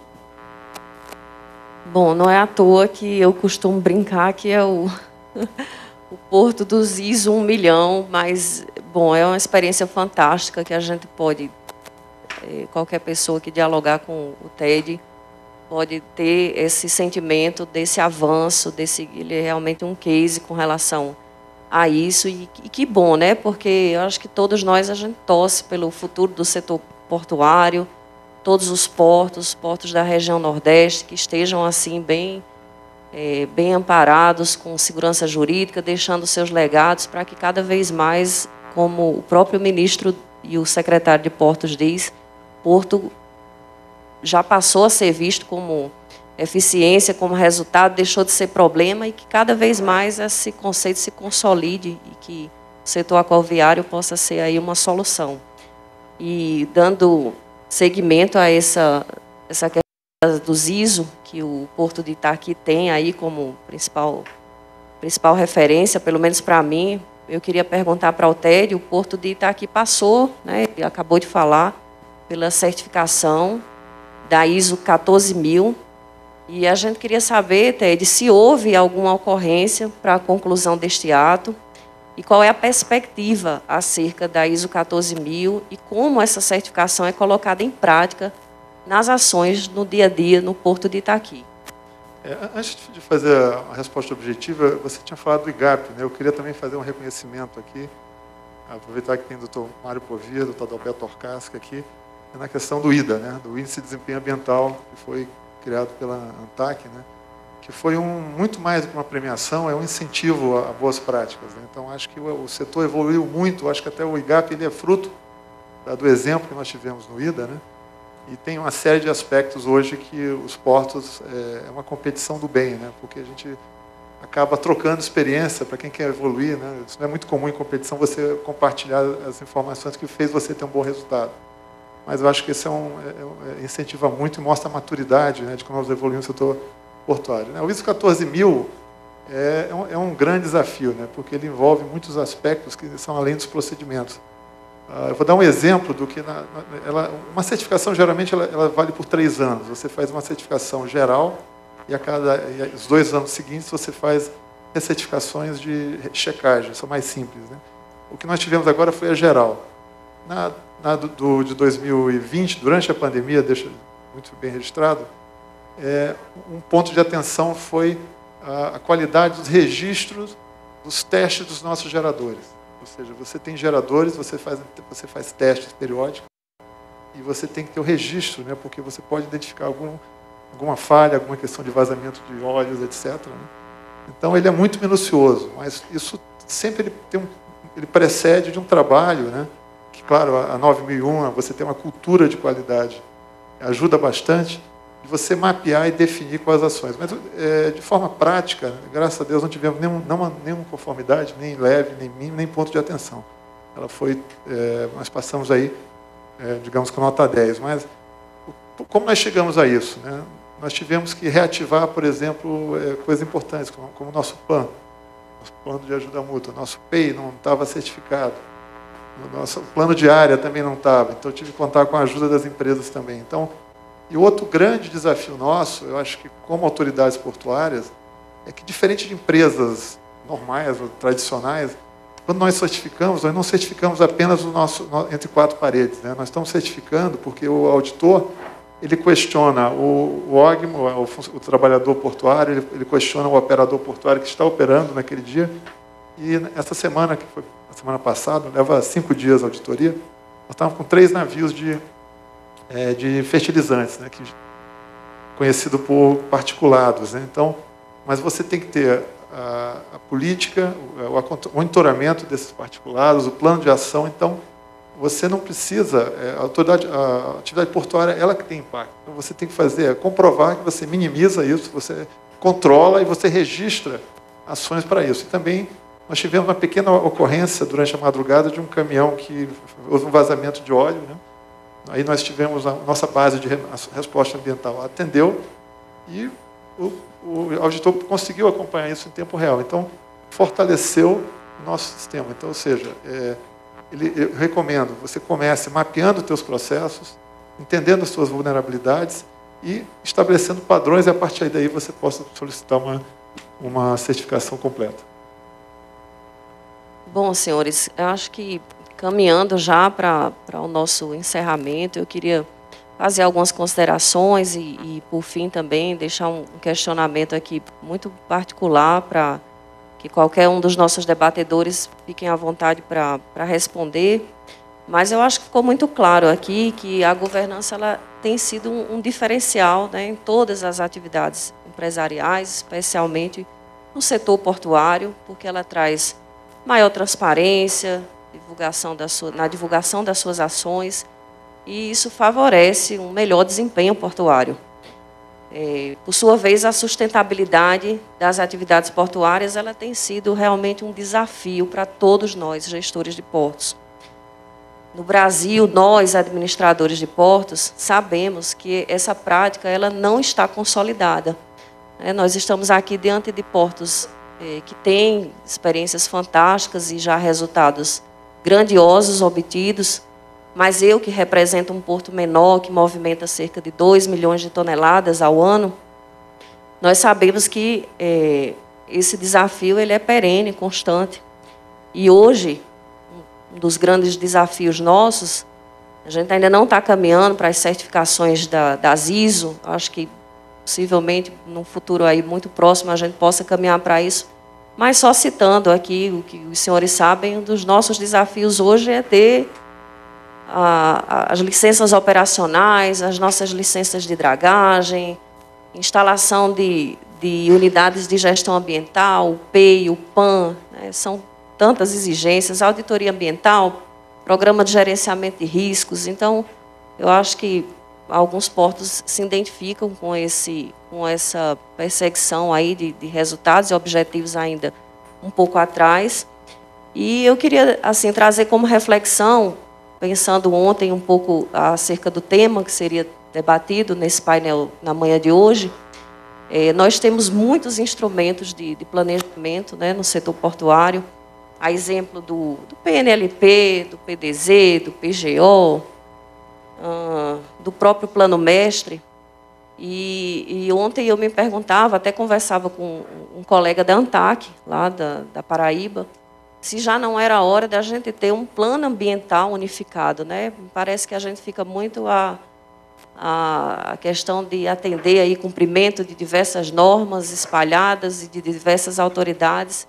Então, eu queria qualquer um dos senhores que quiserem se habilitar para refletir um pouco acerca dessa se já não era hora da gente ter um plano ambiental unificado, assim como agora a gente tem aí critérios tão objetivos e claros para a questão da renovação das tarifas portuárias, isso me parece que facilita né, a, a nossa gestão à frente das autoridades portuárias, o enfrentamento dos temas, dos desafios. Então, essa é uma reflexão final que eu trago e os senhores podem ficar à vontade, caso queiram complementar ou é, falar alguma coisa sobre isso.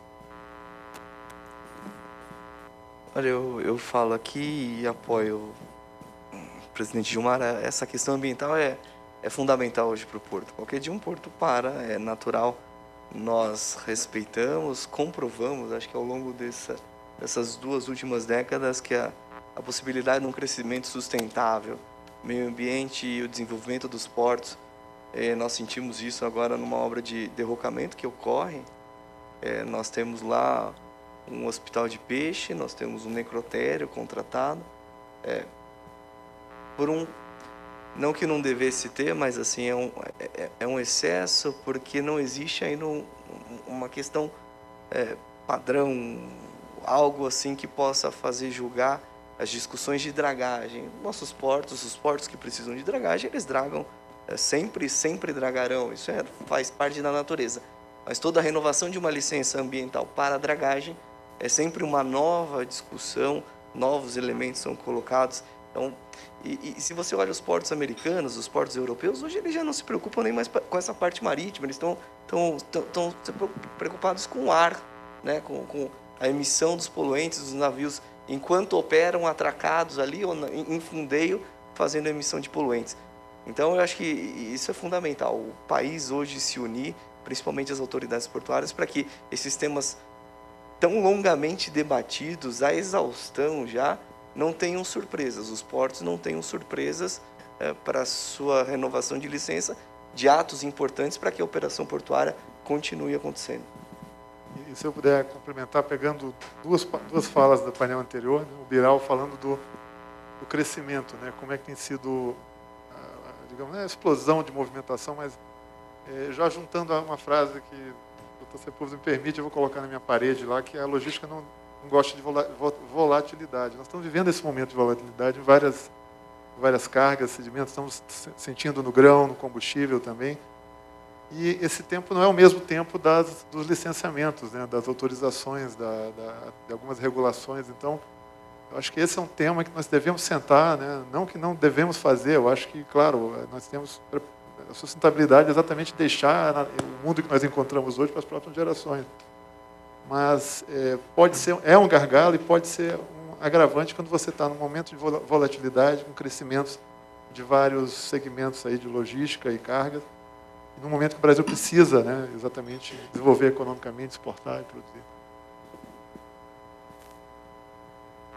As meninas querem complementar alguma coisa? Não, reforçar só a importância entre o alinhamento da atividade empresarial com a questão da sustentabilidade para que fique bom para todos os lados. Que a gente atinja aí todos esses objetivos é muito importante. Inclusive, Swap hoje tem 59% do seu território aí de, de reserva e, e, e, aí a gente se preocupa como porto em mantê-lo é, um ativo de swap em relação à, questão ambiental. Perfeito. Eu quero passar agora para a palavra para que os nossos debatedores possam fazer a sua saudação final, seu agradecimento. E vamos começar com o Dr. Ted Lago. É, mais uma vez agradecer ao Brasil Export pelo evento, parabenizar, né, painéis é, extremamente importantes no momento que nós estamos vivendo. É bom vê-los olho no olho, né, depois de tanto tempo na, na, na telinha, Fabrício, presidente Roberto, né, e eu acho que nós estamos com o setor portuário amadurecido, melhorando, evoluindo, né, muito em função dessa, desse diálogo que nós estamos tendo entre autoridades portuárias, mas também com o setor produtivo, que possa permanecer assim em eventos como esse também, outros outros painéis aí. Okay? obrigado, um grande abraço a todos.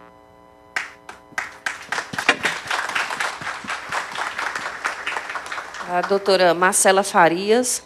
Por favor, fique à vontade.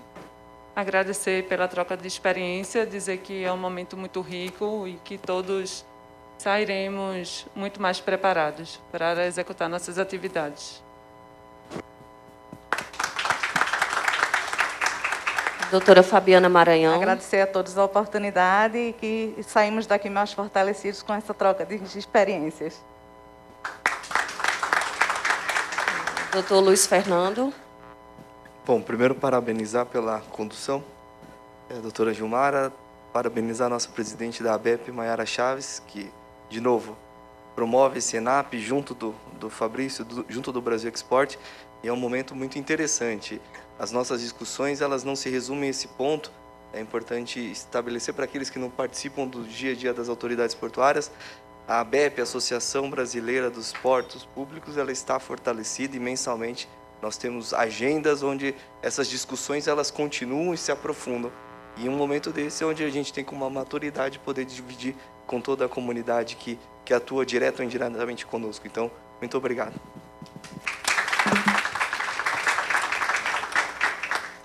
senhores, eu gostaria de parabenizar e agradecer a parceria dos colegas aqui, dos debatedores, debate de alto nível, muito qualificado, que traz muitas experiências e abre muito a mente da gente como administradores de portos.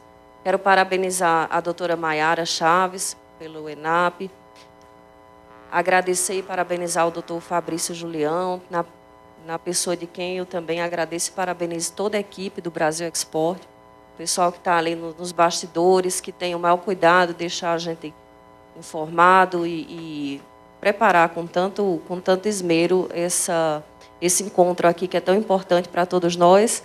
E agradecer a participação de todos, desejar um excelente evento aí ao longo do dia de hoje, no dia de amanhã.